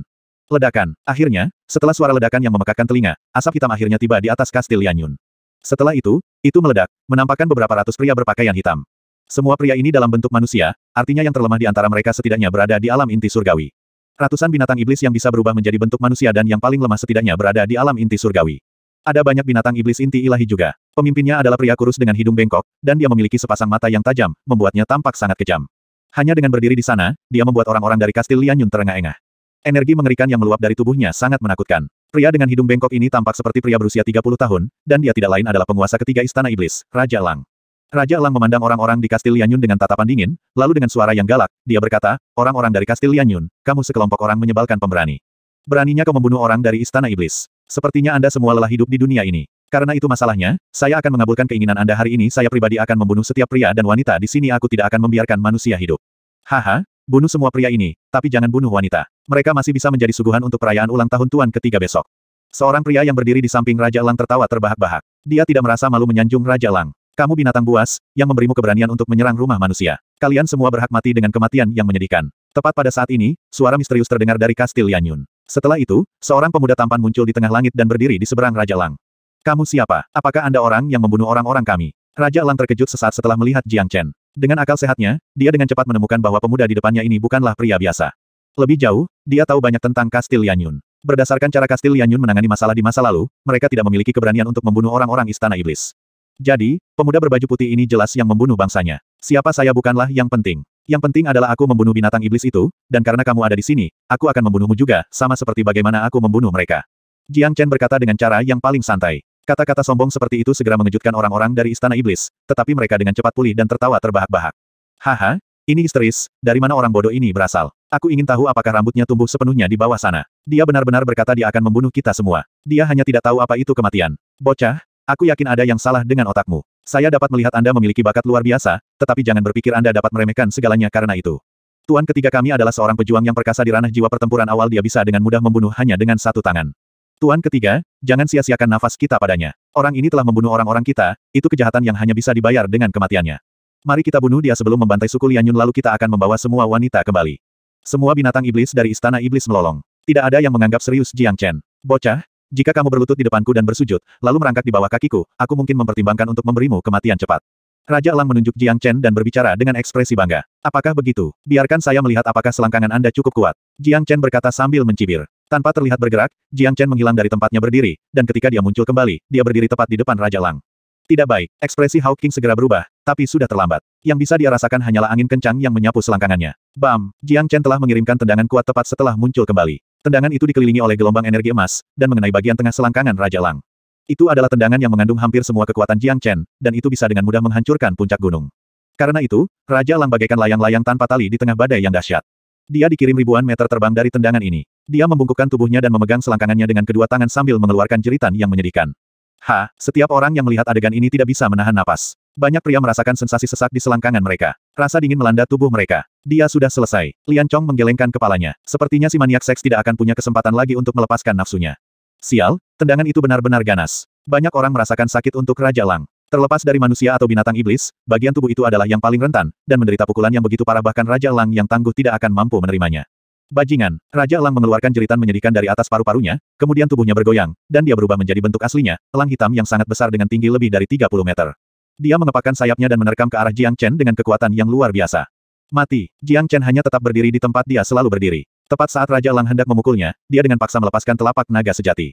Ledakan, Raja Lang hanya di ranah jiwa pertempuran awal, jadi dia bukan tandingan Jiang Chen, apalagi telapak naga sejati Jiang Chen. Di bawah serangan ini, tubuh besar Raja Lang meledak menjadi kabut berdarah yang sangat besar, dan dia mati dengan menyedihkan dengan kesempatan untuk berteriak. 398 menghancurkan Istana Iblis. Ini adalah pemandangan yang sangat mengejutkan. Satu serangan membunuh binatang iblis jiwa tempur awal, penguasa ketiga istana iblis. Yang lebih mengejutkan, itu adalah seorang pria muda. Ya Tuhan, apa yang baru saja saya lihat? Mati, dia membunuh tuan ketiga. Ini menakutkan, seberapa kuat dia. Itu adalah binatang iblis jiwa tempur, tapi dia baru saja membunuhnya dengan satu serangan. Ini terlalu mengejutkan, apa aku sedang bermimpi sekarang? Semua orang di Kastil Lianyun merasa seolah-olah sedang bermimpi. Seorang pria muda baru saja membunuh tuan ketiga yang telah menindas mereka selama ini. Tepat pada saat ini, terlepas dari siapa itu, orang-orang dari Kastil Lianyun atau dari Istana Iblis, mereka semua memandang pemuda ini dengan sikap anggun dalam ketakutan. Kamu, kamu kamu membunuh tuan ketiga kita. Seorang pria berpakaian hitam meraung ke arah Jiang Chen. Suaranya jelas bergetar, karena dia takut pada Jiang Chen. Jiang Chen jelas tidak terganggu oleh orang-orang berbaju hitam ini. Dia mengulurkan lengannya ke depan dan mengambil jiwa iblis emas dari mayat Raja Lang. Jiwa iblis jiwa pertempuran awal, kupikir itu seharusnya bisa membantuku membentuk seratus tanda naga lagi. Jika aku bisa membunuh ketiga tuan istana iblis, aku akan bisa menerobos ke ranah jiwa tempur. Senyum tipis muncul di wajah Jiang Chen. Setelah itu, dia melepaskan api naga sejati dari telapak tangannya dan menelan jiwa iblis emas. Dengan panas luar biasa yang berasal dari nyala api, jiwa iblis mulai meleleh dan diserap oleh Jiang Chen. Hanya dalam beberapa waktu nafas, Jiang Chen telah sepenuhnya menyerap jiwa iblis. Seperti yang dia duga, jiwa iblis ini telah memberinya 100 tanda naga baru. Jiang Chen saat ini memiliki total 4.700 tanda naga. Dia hanya membutuhkan 300 lagi untuk mencapai target 5.000 tanda naga. Sekarang, target berikutnya sudah jelas dua tuan lainnya dari Istana Iblis. Jiang Chen suka melakukan hal-hal seperti ini, karena ini adalah situasi win-win. Tidak hanya dia bisa menyingkirkan iblis yang menggertak manusia ini, tapi dia juga bisa mendapatkan apa yang dia inginkan. Bos, Tuan Istana ketiga terbunuh, apa yang harus kita lakukan sekarang? Seekor binatang iblis berbisik kepada pemimpinnya. Ayo kembali dan beritahu penguasa istana tentang ini saya yakin dia akan mematahkan semua tulang di tubuh orang ini dan kemudian membakarnya menjadi abu. Pemimpin iblis itu menggertakkan giginya dengan marah saat dia berbicara. Setelah itu, beberapa ratus binatang iblis melompat ke langit dan kembali menjadi asap hitam, meninggalkan tempat itu. Semua binatang iblis pada dasarnya adalah makhluk yang kejam dan brutal, tetapi pada saat yang sama, mereka tidak bodoh. Pemuda yang tiba-tiba muncul di kastil Lianyun ini memiliki kemampuan untuk membunuh tuan istana ketiga mereka, yang berarti mereka bukan tandingannya. Jika mereka benar-benar melawannya, mereka hanya akan menemui ajal. Haha, karena kalian semua ada di sini, sebaiknya berikan saja nyawamu. Jiang Chen tertawa terbahak-bahak. Setelah itu, dia melepaskan True Dragon Palm. Semua binatang iblis yang kejam ini pantas untuk mati, dan karena Jiang Chen telah melibatkan dirinya dalam masalah ini, dia mungkin juga membunuh mereka semua dan memusnahkan istana iblis sepenuhnya, membantu pegunungan ini menyingkirkan bencana ini untuk selamanya. Gemuruh. Cakar naga merah darah raksasa turun dari langit dan meraih asap hitam mencoba untuk pergi. Ark, jeritan sengsara bisa segera terdengar dari dalam asap hitam. Dalam sekejap, langit dipenuhi kabut berdarah dan bagian tubuh yang robek jatuh. Hanya dalam waktu singkat, langit telah menjadi neraka yang hidup. Binatang iblis ini terlalu lemah dibandingkan dengan Jiang Chen. Dengan hanya satu serangan, lebih dari 70 dari mereka tewas, sedangkan sisanya luka parah. Huff, kalian semua harus mati. Jiang Chen dengan dingin mendengus, lalu dia hanya melambaikan tangannya, melepaskan sinar emas menyilaukan yang tak terhitung jumlahnya. Setiap balok tampak seperti pedang tajam, dan mereka menjalin bersama untuk membentuk jaring emas raksasa. Setelah itu, dia langsung melemparkannya ke depan. Puci, ah, tak satu pun dari binatang iblis yang selamat dari serangan pertama bisa mempertahankan diri dari serangan ini. Tubuh mereka diiris oleh jaring dan langsung terbunuh. Di mata mereka, Jiang Chen seperti mamut raksasa sementara mereka hanyalah semut kecil yang malang. Jika seekor mamut ingin menginjak sepasang semut dan membunuh mereka, berapapun jumlah semutnya, tidak ada yang dapat mengubah nasib buruk mereka.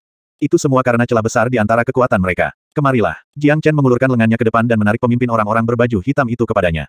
Ini adalah satu-satunya yang selamat, tetapi wajahnya sangat pucat dan terlihat mengerikan. Wajah pria berpakaian hitam ini dipenuhi ketakutan, karena pemandangan yang dia hadapi sangat menakutkan. Istana iblis telah menjadi liar di daerah ini dan tidak pernah mengalami pukulan berat. Dalam benaknya, pemuda ini bukanlah manusia, tapi iblis. Hanya dalam waktu kurang dari satu menit, pemuda ini telah membunuh setiap binatang iblis, dan dia yang terakhir selamat. Sper tolong selamatkan hidupku. Pria berpakaian hitam itu mulai mengemis untuk hidupnya. Di bawah tekanan energi Jiang Chen, ini adalah pertama kalinya dia merasa seperti keberadaan yang sangat kecil. Bawa aku ke istana iblis. Jiang Chen meraih leher pria berpakaian hitam itu, lalu mereka berdua menghilang begitu saja dari tempat kejadian. Orang-orang dari kastil Lianyun tidak bangun dari keterkejutan mereka sampai lama setelah Jiang Chen pergi. Mereka tidak bisa berhenti memikirkan pemandangan yang baru saja mereka lihat rasanya seolah-olah mereka sedang bermimpi. Jika bukan karena tumpukan bagian tubuh di depan mereka, tidak ada dari mereka yang akan percaya bahwa ini nyata. Sungguh pemuda yang tangguh, dia pasti seorang jenius yang tak tertandingi dari suatu negara adidaya. Saya yakin dia adalah seorang jenius dari Istana Sungai yang mendalam yang sedang dalam perjalanan untuk mendapatkan pengalaman. Kami beruntung Istana Sungai yang mendalam dan Istana Raja Iblis adalah musuh lama, karena Istana Iblis adalah kekuatan yang diperintah oleh Istana Raja Iblis. Mungkin pemuda ini benar-benar dari Istana Sungai yang mendalam. Terlepas dari negara adidaya mana dia berasal, mereka semua berada di luar jangkauan kita. Aku hanya berharap dia bisa melenyapkan Istana Iblis, menghapus ancaman terbesar kita. Orang-orang dari Kastil Lianyun tidak dapat menenangkan diri untuk waktu yang lama. Peristiwa hari ini seperti sesuatu yang keluar dari fantasi itu adalah sesuatu yang bahkan tidak akan terjadi dalam mimpi terliar mereka. Jiang Chen sedang mengendalikan pria berpakaian hitam, jadi dia tidak berani mengabaikan perintahnya. Dia membawa Jiang Chen langsung ke Istana Iblis. Istana Iblis terletak di lembah tepat di kedalaman pegunungan terpencil ini. Itu adalah lembah dengan kabut, dan itu berbau energi iblis. Pemandangan lembah itu berbahaya, tetapi pemandangannya indah, dan lembah itu kaya akan energi yuan alami. Itu adalah tempat yang sempurna untuk berkultivasi. Tuan muda, Istana Iblis ada di sini. Pria berpakaian hitam itu menunjuk ke lembah di depan mereka dan berbicara dengan sikap patuh. Dia takut jika suaranya lebih keras, dia akan memprovokasi penjahat ini dan mati. N, bagus. Jiang Chen mengangguk dengan ekspresi puas. Pria berpakaian hitam itu sangat senang melihat Jiang Chen puas. Dia berkata, jika itu masalahnya, bisakah Tuan Muda mengampuni hidupku? Aku akan menghindarkanmu dari kematian cepat. Jiang Chen meremas telapak tangannya, mematahkan leher pria berpakaian hitam itu. Setelah itu, dia langsung melemparkan mayatnya ke tanah. Dentang, Jiang Chen melambaikan tangannya dan mengambil pedang suci surgawi. Dia mengayunkan pedang, menyebabkannya menghasilkan suara yang tajam. Dengan cibiran di wajahnya, Jiang Chen sedikit menghangat, mempersiapkan pembantaian besar-besaran. Swoosh! Dia kemudian mengangkat pedang suci surgawi tinggi ke udara dan menyuntikkan energi Yuan ke dalamnya, menyebabkannya berubah menjadi pedang raksasa yang panjangnya lebih dari 30 meter. Saat pedang suci surgawi mengeluarkan teriakan kegembiraan, Jiang Chen hanya mengayunkannya dengan kekuatan yang luar biasa, melepaskan sinar pedang besar ke arah lembah. Itu memotong kabut dan terus turun ke istana iblis. Ledakan, suara ledakan yang mengguncang dunia terdengar di lembah yang sunyi. Dengan itu, energi yang menghancurkan menyapu seluruh lembah, mengirimkan asap hitam yang menakutkan ke langit. Serangan dahsyat ini seketika menyebabkan deretan bangunan runtuh dan berubah menjadi debu. Jeritan mengental darah yang menyedihkan terdengar dari lembah. Seseorang jelas tidak cukup beruntung untuk terbunuh oleh serangan pedang Jiang Chen. Siapa yang melakukan ini? Siapa yang berani menyerang istana iblis? Sial istana iblis rusak parah. Seluruh istana iblis menjadi gelisah. Keberadaan yang kuat mulai keluar dari lembah, dan dalam sekejap mata, seluruh langit di atas istana iblis dipenuhi dengan keberadaan yang kuat ini. Beberapa dari keberadaan yang kuat ini adalah binatang iblis yang telah berubah menjadi bentuk manusia, dan beberapa dalam bentuk aslinya yang sangat besar. Itu adalah pemandangan yang menakutkan. Ketika orang-orang istana iblis keluar dari lembah, mereka segera melihat Jiang Chen. Pemuda tadi undang berpakaian putih yang memiliki pedang panjang di tangannya jelas pelakunya, orang yang menghancurkan istana iblis. Kamu siapa? Benar-benar orang menyebalkan yang berani. Seorang iblis inti akhir ilahi berteriak pada Jiang Chen. Swoosh! Dia dijawab dengan serangan pedang. Itu adalah serangan yang tidak dapat dia hindari, iblis ini hanya bisa melihat cahaya terang yang bersinar di matanya, dan setelah itu, tidak ada apa-apa, karena kepalanya telah lepas dari lehernya dan jatuh dari langit. Dia bahkan tidak punya kesempatan untuk menanggapi, karena dia langsung terbunuh. Hari ini aku akan menghancurkan tempat ini, dan aku tidak akan meninggalkan yang selamat. Jiang Chen mengumumkan tujuannya dengan suara nyaring. Tanpa menunjukkan belas kasihan, dia menyerbu ke pusat iblis kemudian dia mulai dengan ganas mengayunkan pedang suci surgawinya. Dengan setiap ayunan pedangnya, kabut darah dalam jumlah besar akan terciprat ke langit. Banyak dari iblis itu terbunuh seketika tanpa ada kesempatan untuk melawan. Sendirian, Jiang Chen akan memusnahkan kekuatan yang dibuat oleh iblis ini. Dia ingin membunuh mereka semua itulah tujuannya hari ini. Ah, seseorang membantai semua iblis di istana iblis, cepat dan beritahu kedua tuan.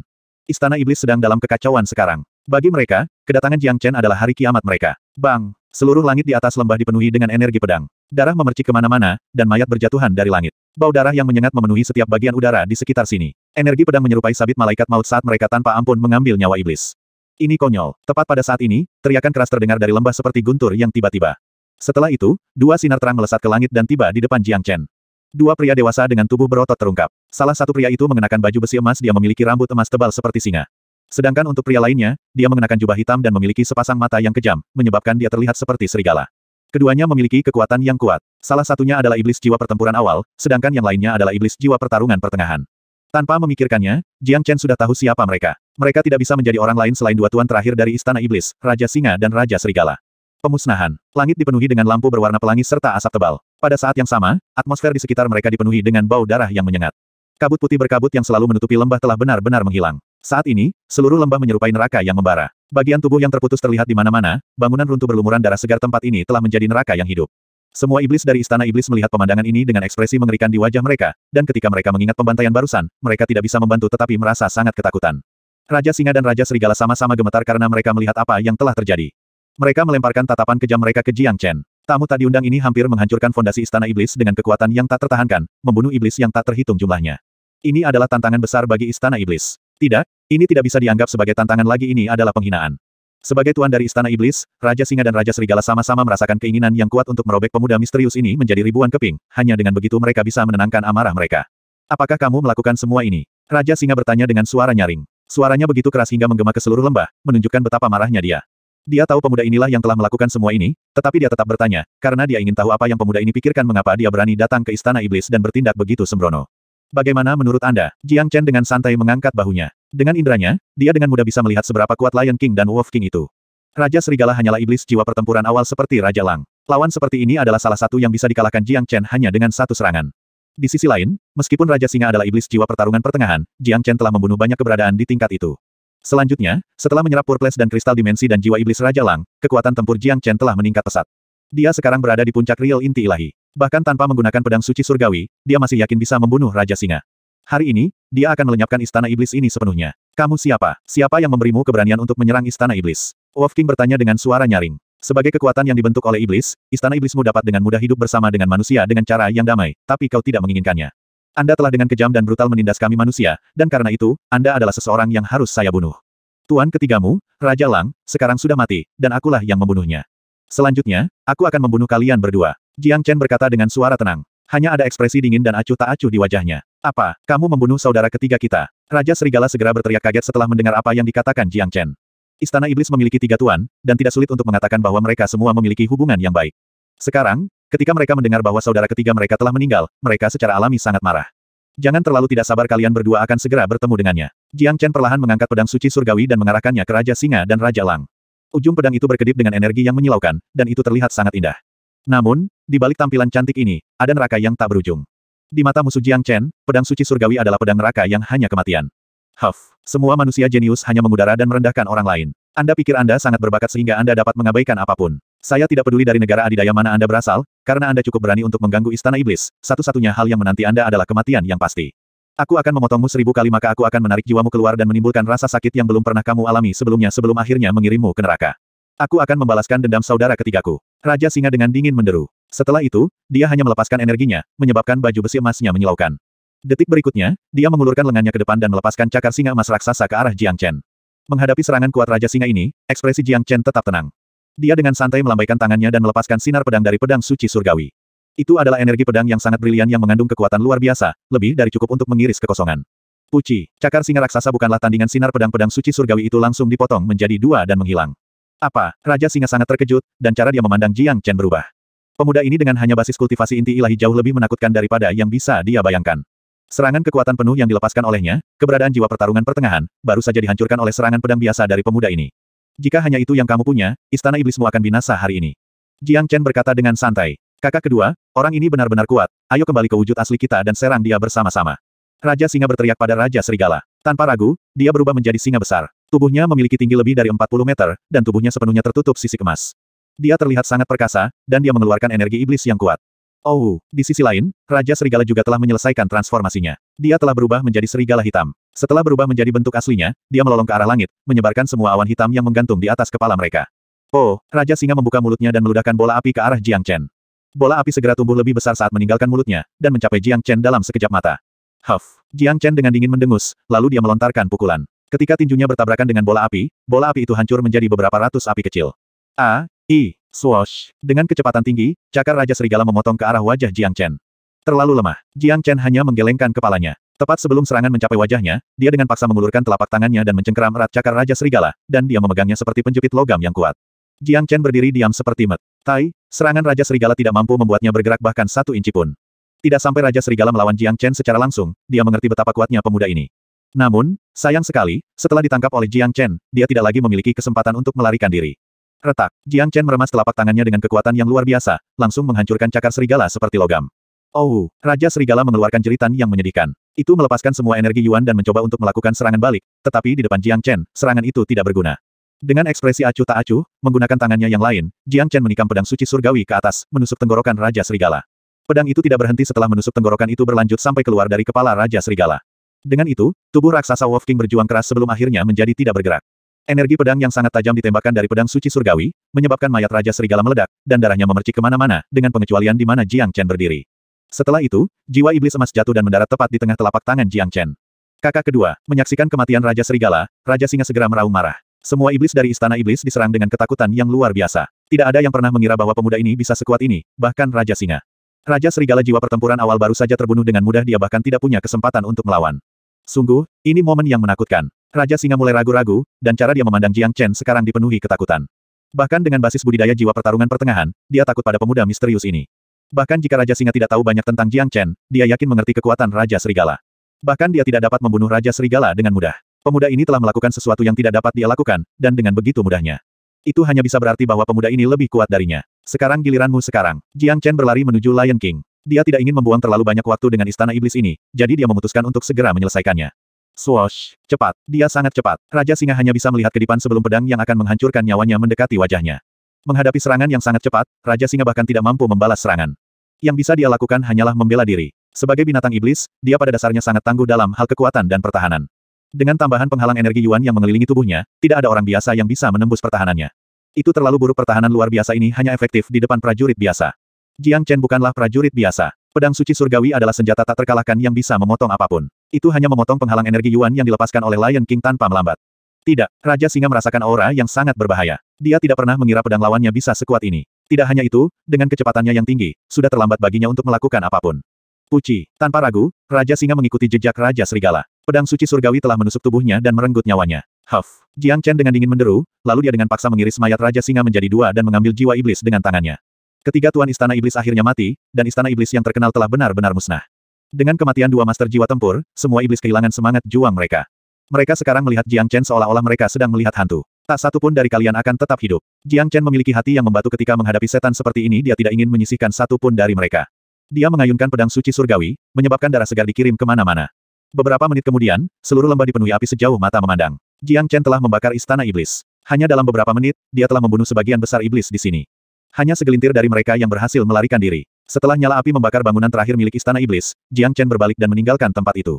Istana Iblis dianggap sebagai kekuatan iblis yang cukup kuat dan terkenal, tetapi hari ini, telah dimusnahkan oleh seseorang. Semua orang dan segalanya telah pergi, dan berita tentang ini akan segera menyebar. Tidak sulit membayangkan seberapa besar badai akan tercipta ketika berita tentang ini keluar. Setengah jam setelah Jiang Chen pergi, banyak orang tiba di Istana Iblis dari segala arah. Semua pria ini berasal dari suku manusia yang berbeda yang tinggal di pegunungan ini. Mereka tidak tahu lokasi pasti dari Istana Iblis sebelum ini, tetapi karena pertempuran membuat begitu banyak keributan, mereka dapat menemukan tempat ini dengan mudah. Ketika mereka melihat pemandangan menyedihkan di lembah, masing-masing dari mereka sangat terkejut.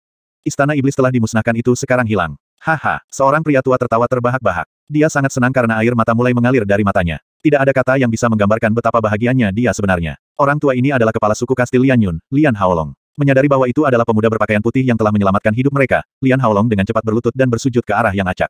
Banyak orang ingin tahu tentang siapa pria ini bersujud, tetapi Lian Haolong hanya mengabaikan mereka dan mengulangi proses yang sama sembilan kali sebelum berdiri kembali.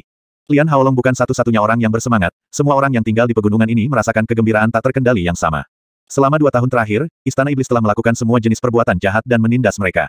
Ketika dihadapkan dengan iblis-iblis busuk ini, manusia hanya bisa menyembunyikan amarahnya dan tidak melakukan apa-apa. Mereka telah bermimpi tentang Istana Iblis suatu hari nanti akan dimusnahkan, tetapi mereka tidak pernah berpikir itu akan menjadi kenyataan hari ini. Wei Hao, siapa yang melakukan ini? Istana Iblis telah dihancurkan. Orang itu adalah penyelamat kita, orang itu telah melakukan perbuatan besar untuk wilayah ini. Karena istana iblis telah dimusnahkan, kita tidak perlu khawatir mereka akan menindas kita lebih lama lagi. Kami tidak tahu siapa pahlawan yang memusnahkan istana iblis itu. Jika saya mencari tahu siapa itu, saya pasti akan memasang patung orang itu dan menyembahnya setiap hari. Mungkinkah ini pertanda manusia di benua selatan menyatakan perang dengan iblis? Meskipun istana iblis belum lama didirikan, mereka adalah kekuatan yang diatur langsung oleh istana Raja Iblis.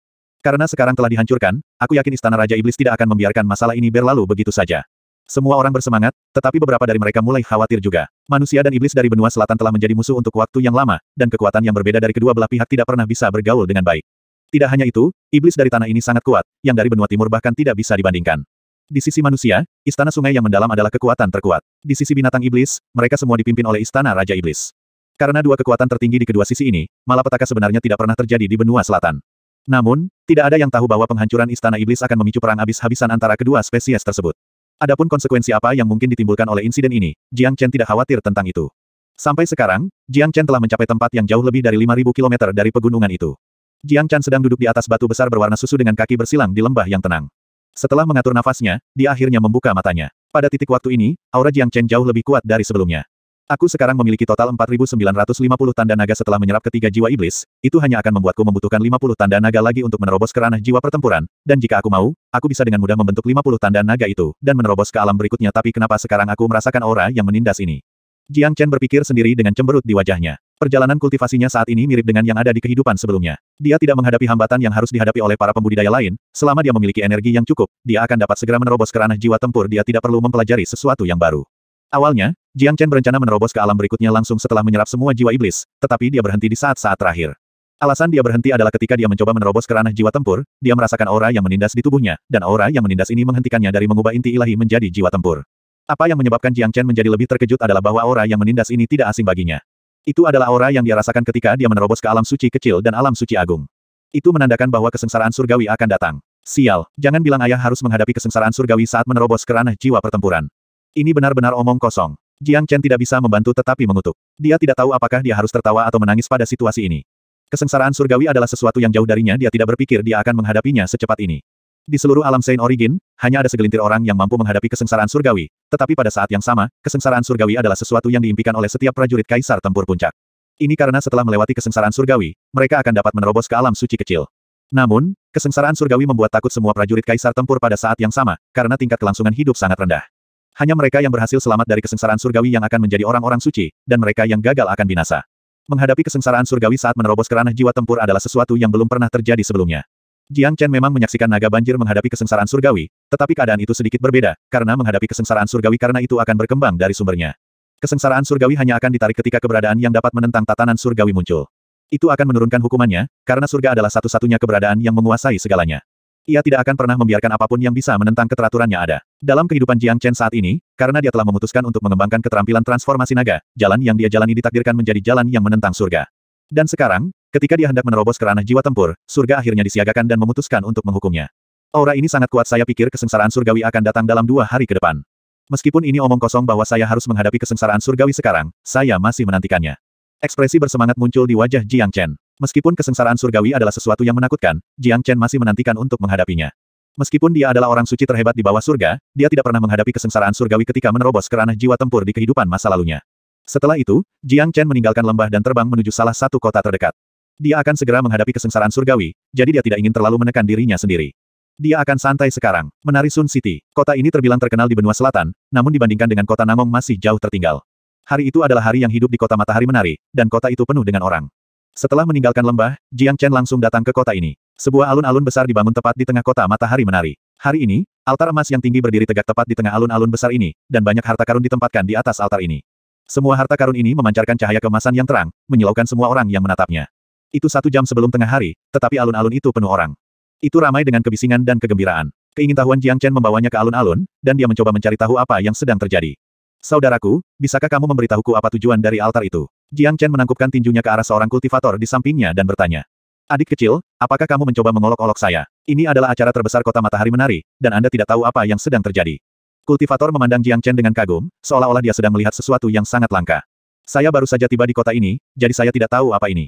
Jiang Chen menjawab sambil tersenyum. Saya melihat, hari ini adalah upacara pemujaan leluhur untuk keluarga Wu. The Wonder Hantou Santune, Wu Ningzu akan datang ke sini secara pribadi dan menyelenggarakan acara ini. Itulah mengapa begitu banyak orang yang tertarik ke sini. Pembudidaya menjelaskan. Ketika menyebut nama Wu Ningzu, ekspresi kagum muncul di matanya. Wonder Hantou Santune Wu Ningzu, siapa itu? Jiang Chen bertanya dengan nada serius. Pertanyaannya segera menarik tatapan yang tak terhitung jumlahnya, seolah-olah mereka sedang memandangi orang idiot. Apa-apaan ini? Saudaraku, apakah kamu di sini untuk membuang waktuku? Apakah Anda benar-benar tidak tahu siapa Wonder Hantou Santune Wu Ningzu itu? Apakah kamu benar-benar manusia? Kultivator merasakan keinginan yang kuat untuk memukul Jiang Chen. Jangankan kota matahari menari ini, bahkan di benua selatan sangat jarang menemukan seseorang yang tidak tahu tentang Wu Ningzu. Uff, Jiang Chen tercengang dengan reaksi orang-orang di sekitarnya. Dia tahu dia sedang dibenci. Tapi, dia benar-benar tidak tahu siapa Wu Ningzu ini. Gadis suci dan jenius nomor satu dari Istana Sungai yang mendalam, gadis tercantik di benua selatan. Dengan gelar Wonderhan Miriatune, semua orang di negeri ini tahu tentang dia. Seseorang lain menunjukkan lampu pada Jiang Chen. Dia berbicara dengan tatapan kagum di matanya. Dia adalah gadis tercantik di benua selatan, gadis yang diimpikan oleh banyak pria. Jiang Chen akhirnya mengerti. Dia tidak pernah mengira akan bertemu orang seperti itu ketika hanya melewati Danqing Sun City. Gadis suci, jenius nomor satu dari Istana Sungai yang mendalam, gadis tercantik di benua selatan Wonder Hantou Santune, Wu Ningsu. Masing-masing dari gelar ini cukup untuk mendorong seseorang ke puncak dunia, berada di tengah negeri. Selanjutnya, Istana Sungai yang mendalam telah menarik perhatian Jiang Chen. Mereka terlibat dalam konflik internal keluarga Namong, dan karena dia ada di sini, dia mungkin juga tinggal di belakang dan menyaksikan sikap gadis suci dari Istana Sungai yang mendalam ini.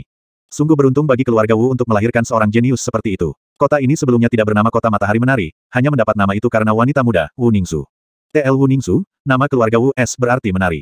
Itu benar, wanita muda dari keluarga Wu penuh dengan bakat. Dia diterima di istana sungai yang mendalam ketika dia masih kecil. Saya mendengar bahwa Wu Ningzu menerobos ke ranah jiwa pertempuran akhir belum lama ini, itulah mengapa dia sengaja kembali kali ini untuk menyembah leluhurnya. Bagi keluarga Wu, ini adalah kemuliaan tertinggi. Benar-benar luar biasa. Saya pikir Wu Ningzu baru berusia 20 tahun sekarang, tetapi dia telah menerobos ke ranah jiwa pertempuran akhir. Bakat yang gila, aku bahkan tidak bisa membayangkannya. Setiap bagian dari alun-alun itu ramai dengan kebisingan dan kegembiraan. Ketika keluarga Wu disebutkan, semua orang memiliki ekspresi kagum yang sama. Keluarga Wu hanyalah sebuah keluarga kecil di kota Matahari Menari, tetapi karena Wu Ningzu, keluarga Wu saat ini menjadi keluarga nomor satu di kota Matahari Menari, dan bahkan berganti nama. Ada pepatah yang mengatakan bahwa ketika seseorang mencapai puncak, semua teman dan keluarga akan berada di sana bersama orang itu. Ini digambarkan dengan baik oleh keluarga Wu. Adapun Wu Ningzu sendiri, dia adalah gadis impian banyak pria. Alasan mengapa upacara pemujaan leluhur ini begitu meriah sebagian besar karena Wu Ningzu, saat dia akan muncul. Banyak orang bahkan datang dari jauh hanya untuk menyaksikan gadis tercantik di benua selatan ini. Ini adalah kesempatan yang hanya terjadi sekali seumur hidup, dan tidak ada yang mau melewatkannya. Wu Ningsu, itu nama yang bagus. Karena dia memiliki gelar gadis tercantik di benua selatan, aku bertanya-tanya seperti apa tampangnya. Jiang Chen berpikir sendiri. Awalnya, dia hanya ingin beristirahat di kota dan mempersiapkan diri untuk kesengsaraan surgawi, tetapi karena ada acara besar seperti itu, dia mungkin juga berdiri di antara kerumunan dan menunggu Wu Ningzu muncul. Menit-menit berlalu perlahan. Menunggu seseorang adalah proses yang panjang. Alun-alun dipadati orang, tetapi tidak ada yang pernah menunjukkan tanda-tanda ketidaksabaran, karena selama mereka bisa menyaksikan kecantikan Wu Ningzu, mereka rela menunggu berbulan-bulan, apalagi beberapa menit atau jam. Satu jam berlalu dalam sekejap mata. Matahari telah naik ke tengah langit, dan sekarang sudah siang. Itu berarti upacara pemujaan leluhur keluarga Wu akan dimulai. Tiba-tiba, beberapa suara terdengar dari langit di atas. Setelah itu, seluruh langit dipenuhi dengan cahaya kemasan. Beberapa orang dengan pakaian yang tampak mewah kemudian muncul mengikuti itu. Lihat, orang-orang dari keluarga Wu ada di sini, upacara pemujaan leluhur akan dimulai. Di mana Wu Ningzu? Apakah dia di sini? Bersabarlah, Wu Ningzu adalah yang terakhir dia tidak akan muncul secepat ini. Tetap tenang dan tunggu terus.